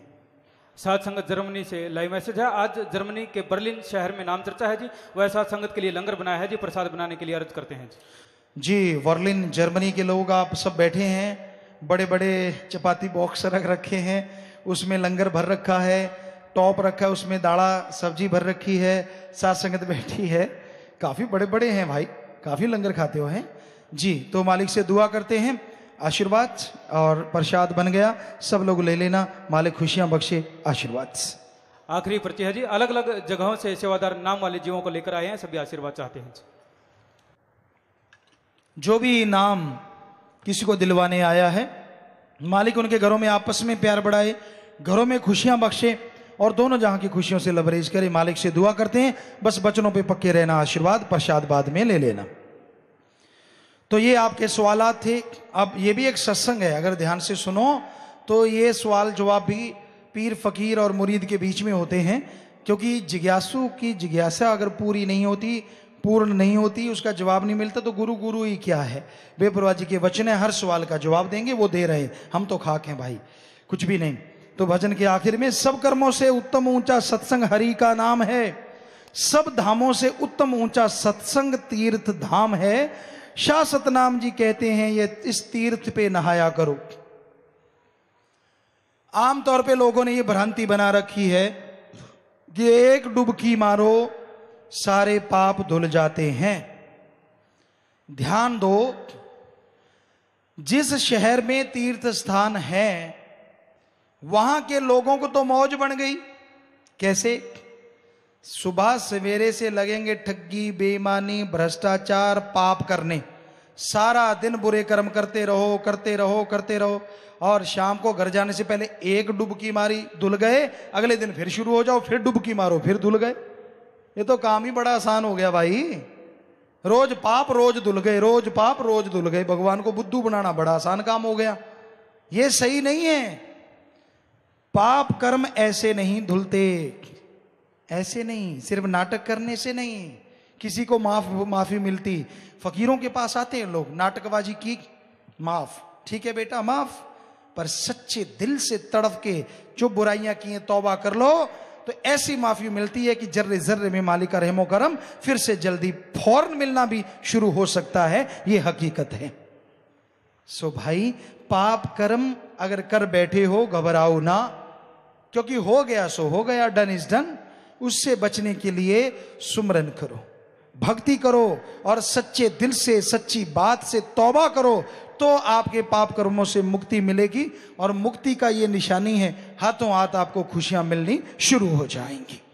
यही हकीकत है। और किसी चीज़ से नहीं। इसलिए बेपरवाह जी ने फरमाया है, सब धामों से उत्तम ऊँचा सत्संग तीर्थ धाम है। यहाँ अल्लाह वाहिगुरु राम की चर्चा होती है। कितने प्यार से जो कहते हैं आ, कि सुई गिरे तो आवाज़ आए। आप देख लीजिए हम चुप होते हैं। कैसी शांति है। वरना कहावत है दो बहनें इकट्ठी बैठी वो चुप दिखे तो हैं? ये अजूबा कदों हो गया? ये अजूबा यहाँ लाखों बैठी हैं फिर भी चुप है। ये उस राम ने अजूबा करता है। हम नहीं। देखो निगाह मारो चाहे। यहाँ तक निगाह जाती सात संगति सात संगत है। हमारी क्या ताकत? हम संभाल लें। एक राजा महाराजा नहीं संभाल सका था एक मछली को। भगवान की कृपा को कोई क्या संभाल लेगा? ये तो वही संभालता है। पल में लंगर खिला दिया, पल में पानी है, पल में नाम मिला, पल में खुशियाँ, पल में पाप कर्म कट गए और पल में माली के नूरी स्वरूप के दर्शन भी हो गए। ऐसा भी होता है। पर भावना, आपकी भावना है। यहाँ चतर चलाकी नहीं चलती। हकीकत है। जितनी चरित्र चलाकी करते जाओगे, उतने कर्मों के जाल में उलझते जाओगे। सीधा सादा होके मान जाओ। कि हो गया, सो हो गया। पता है, आप आदमी हैं, आप भगवान तो है नहीं कि आपसे गलती नहीं हुई। हो गई हो गई। ठीक है, उसको कबूल कर लो। और फिर देखो सुमन करो, संतों के वचन मानो। आप सुबह दा पुल्या, शाम नहीं सुबह दा पुल्या कंठेवादी कर आ गया माल कितनी खुशियाँ बख्श देगा। सो भाई, मर्ज़ी आपकी है। तन साफ़ बनाते हो, मन साफ़ बनाया करो। सत्संग तीर्थ पे नहाया करो। आप नहा रहे हैं। सत्संग तीर्थ में नहा रहे हैं। जो पूरे ध्यान से सुन रहे हैं, जो श्रद्धा विश्वास से सुन रहे हैं, जो भावना से सुन रहे हैं, अरे उनको क्या मालूम उनके कितने पाप कर्म सुन सुन के ही कटते जा रहे हैं। ये वो मौला जानता, इसलिए हम हाथ जोड़ जोड़ बार बार कहते हैं, सुन लो रे, सुन लो रे, सुन लो रे। वरना कितना सुमरण, कितना सेवा, कितनी भक्ति, सुनो और फिर अमल करो, फिर देखो नज़ारा। तो पहले तो सुनना ज़रूरी है ना। इधर उधर आँख मटक्का ना किया करो। वो कौन है, वो कैसा है, वो किधर है, वो कैसा है? आदमी तो आदमी जैसा है। चाहे वो कोई भी क्यों ना हो। जननी सबसे बड़ी मानी गई, लेकिन वो भी तब तक निगाह रखती है जब तक बच्चा दौड़ने ना लग जाए। माँ भी उतनी देर निगाह रखती। जब जवान हो गया, बड़ा हो गया, फ़िक्र तो रहता, लेकिन उतना नहीं। पर गुरु, पीर, फकीर तो हर समय फ़िक्र रखते हैं। जब तक अगले जहाँ निज धाम नहीं पहुँचता, उनके लिए उनका मुरीद एक नन्ना सा लुढ़कने वाला बच्चा होता है, भागने वाला नहीं। हर टाइम उसकी बाजू पकड़ के रखते हैं कहीं फिसल ना जाए, कहीं गिर ना जाए। तो भाई, बचनों पे अमल किया करो। और हमने क्या आपसे मान बढ़ाई लेनी है अगर अमल कर लोगे? हमें तो मान बढ़ाई की इच्छा ही नहीं, हम तो खाकसार हैं, चौकीदार हैं। यही है हमारी बढ़ाई। कबीरा सब ते हम बुरे, हम तज भला सब कोए, जिन ऐसा कर माने मीत हमारा सोए। ऐसा मानो, सिर्फ़ बोलो ना, सिर्फ़ दिखाओ ना, अरे दिल से मान लो कि हाँ भाई मैं किसी को क्या कहूँ, अपने बुरे कर्म दूर कर लूँ। अगर ये सोच लो, आपके बुरे कर्म दूर होंगे और प्रगट फिर हजूर होंगे और ज़रूर से ज़रूर होंगे। वो किसी के मजबूर नहीं होंगे, वो प्रगट ज़रूर होंगे। यही हकीकत है, यही वास्तविकता है। मर्ज़ी आपकी, हम तो आपके सेवादार हैं। एक सेवक का काम अपने मालिक की सेवा करना है। आप सोचते हैं, हमें क्यों मालिक कह रहे हैं? क्योंकि आपके अंदर हमारा खसम जो बैठा है, वो अल्लाह वाहिगुरु राम जो बैठा है। आप कैसे कर्मों के स्वामी हैं, वो आप हैं। लेकिन आपके अंदर तो दोनों जहान का बाप है। इसलिए इसलिए हम तो सेवक हैं, आपकी सेवा कर रहे हैं। बता रहे हैं कि उसको संभालो जो दोनों जहाँ का स्वामी आपके अंदर बैठा है। उसको पहचानो, मत पड़ो गंदगी की एक कीड़े बनो, मत गटर की गंदगी बनो, मत गंदगी की कीड़ों की तरह काम बाशना करो लो मोह अहंकार मन माया में मुँह मारते फिरो। कभी इनसे हटके देखो, अरे कुएँ वाले मेंढक क्यों बने बैठे हो? कभी दरिया वाले समुन्द्र वाले मेंढक बनो, आपको किनारा ही नहीं मिलेगा खुशियों का। इतनी खुशियाँ, इतना आनंद, इतनी लज्जत है। बाकी मानना आपकी मर्ज़ी है। हमारा फ़र्ज़ आपकी सेवा में अर्ज़ करना है। वो सारी उम्र करते ही रहना है। और आप मानते हैं तो यकीनन खुशियाँ आपके द्वार पे, आपके अंदर बाहर ज़रूर मिलेंगी और उससे आप माला माल हमेशा होते रहेंगे। गम, टेंशन, परेशानियाँ उड़ती रहेंगी और खुशियों से आप दोनों जहाँ के नजारे लूटेंगे, दोनों जहाँ की सैर करते ही रहेंगे। और फिर जैसे कई वैसे गाने वाले गा देते हैं, मोरा पिया घर आया हे राम जी वो पिया जब घर आ जाएगा ना, जो खुद राम है, जो दोनों जहाँ का मालिक है, घर वो नहीं जो ईंट पत्थरों का बना है, घर वो जिसे हम नहीं बना सकते। घर वो जिसके कोई टंका नहीं लगा घर वो जिसका सीमेंट दिखता नहीं है, टीप टपल्ला ऐसा कुछ करना नहीं पड़ता। वो घर जो ये बॉडी है human body body is the temple of God heart is the seat of God तन मंदर मन बेस कलंदर घटी तीर्थ नावा। मन मंदर तन बेस कलंदर घटी तीर्थ नावा। एक शब्द मेरे प्राण वस्त है बहुत जन्म ना आवा। वो शब्द, वो धुन, वो अजाप शब्द, वो तुर्की बाणी वो बांगे इलाही, वो कलमा है पाक the God's voice and lights आप सबके अंदर चल रही है। एक बार उससे जुड़ो तो सही। अरे, आपको वो नज़ारे मिलेंगे, वो लज्जतें मिलेंगी। सारे इंद्रियों के भोग विलास भूल जाओगे और उस लज्जतों से मस्तो मस्त हो जाओगे माला माल हो जाओगे। सो वो मस्ती देने वाला, धुन तो आपके अंदर है, पर उसको जोड़ने वाला, जिसे वर्णात्मक नाम गुरु मंत्र मेथड ऑफ़ मेडिटेशन कलमा वो आपको अभी बताएँगे, ताकि आप उस नाम से जुड़ जाएँ, जो अजाप है, जो आद है, जो अनहद है, और जो तुर्की बाणी है, जो वांगे इलाही है, अल्लाह की आवाज़, जिसकी कोई तोड़ नहीं, उसको सुना जा सकता है, देखा जा सकता है, लिख बोल के बताया नहीं जा सकता। कई कहेंगे, जिसको सुन लिया, जिसको देख लिया, लिख बोल क्यों नहीं सकते? तो आप सूरज को रोज देखते हो, बताओ सूरज किस जैसा है, बता सकते हो? नहीं बता सकते। क्योंकि सूरज जैसा दूसरा दिख ही नहीं रहा। जब सूरज की तुलना नहीं हो सकती तो अल्लाह वाहगुरु की आवाज़ की तुलना किससे करोगे? किस आदमी जैसी? किस भक्त जैसी? किस जैसी? क्योंकि उस जैसा ना कोई था, ना कोई है और ना कोई होगा। वो एक था, एक है और एक ही रहेगा। पहचानने वाली आँख बनाओ, अंदर बाहर एक हो जान फिर दोनों जहाँ में वो नज़र आएगा, दोनों जगह दिखेगा और आप मस्ती में झूम जाएँगे। कोई भी बुराई आपसे हो गई, कोई भी पाप कर्म आपसे हो गया, सत्संग सुन के रोना, सत्संग सुन के तौबा करो सच्चे दिल से। नाक ना रगड़ो एवे नक नाल कढ़ना लकीर ते मन दी लकीर कढ़ ले। ये ये चीज़ें मत करो, बल्कि अंदर से दृढ़ विश्वास, सोचो और नारा लगाओ अपने अंदर कि हे मालिक, हे सतगुरु, अल्लाह राम तेरे तू हमारे सब में बैठा है, विराजमान है, तुझे हाजर नाजर मान के हम ये बुराइयाँ छोड़ रहे हैं, आइंदा नहीं करेंगे। तो आप फिर से मालिक की दया में रहमत के काबिल बनते चले जाएँगे। तो अपनी बुराइयों को छोड़ो। मन के हाथों मजबूर ना बनो। मन कई बार ये लारे लगा देता है, अब नहीं तू बन सकता। अब तेरे से गलतियाँ हुई। ये भी मन की चाल है, बड़ा शातिर है वो। इसलिए ये ना सोचो, क्योंकि जो पूर्ण पीर फकीर का बच्चा है, वो मन का मुँह तोड़ जवाब दे सकता है, मन को रोक सकता है, इसलिए सुमरन करो, तौबा करनी है पीर फकीर अपने गुरु के सामने करो, ताकि आगे से मन आपका पानी भरे, ना कि आप मन का पानी भरे। तो भाई, बताना फ़र्ज़ है हमारा, आगे चलना ना चलना आपकी मर्ज़ी। तो यही सदगुरु मुर्शिद कामिल ने सब समझाया था जी। तो प्यारी सात संगत जी आप में गुरु मंत्र नाम लेने वाला अगर कोई है तो उसने सचखंड हॉल में रास्ते बने हुए चले जाना है। बाकी सात संगत लंगर भोजन है।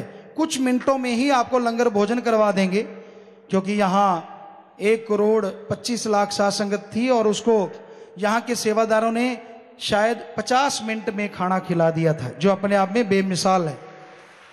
भंडारे पे 25 जनवरी से कोई कहता है एक करोड़ पच्चीस लाख थी, कोई कहता है एक करोड़ पचास लाख थी। तो ये डेढ़ करोड़ या सवा करोड़ जितनी भी संगत, क्योंकि यहाँ कोई सैकड़ों एकड़ भरे हुए थे। तो इतने सेवादारों की हिम्मत है। तो आपको तो थोड़ी उस हिसाब से तो थोड़े, वैसे तो लाखों में है, पर आपको खिला देंगे बहुत जल्दी।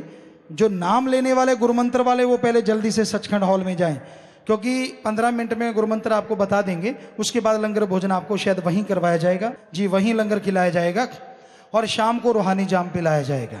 सर्वधर्म संगम, जो किसी धर्म का नहीं, सभी धर्मों का साझा है।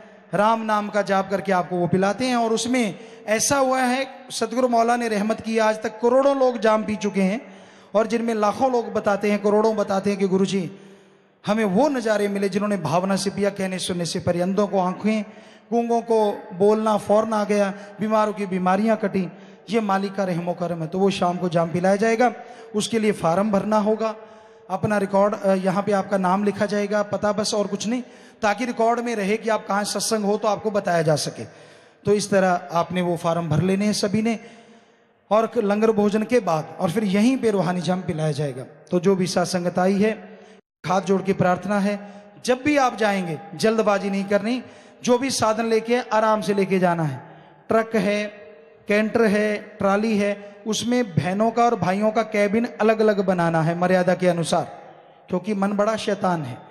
आप समझदार को इशारा काफ़ी है। तो इसलिए उनमें कैबिन अलग अलग बाकी सीट टू सीट सवारी हो, खड़े हुए लोग ना हो। जैसे भूसा, तूड़ी, लद्दे, इस तरह से नहीं, लाद के लाना गाड़ियों में। एक गाड़ी ज़्यादा करवा लो। और मालिक से दुआ, जब तक आप घर नहीं पहुँचते, सत्संगों से बढ़ के मालिक आपको फल बख्शता रहे जी।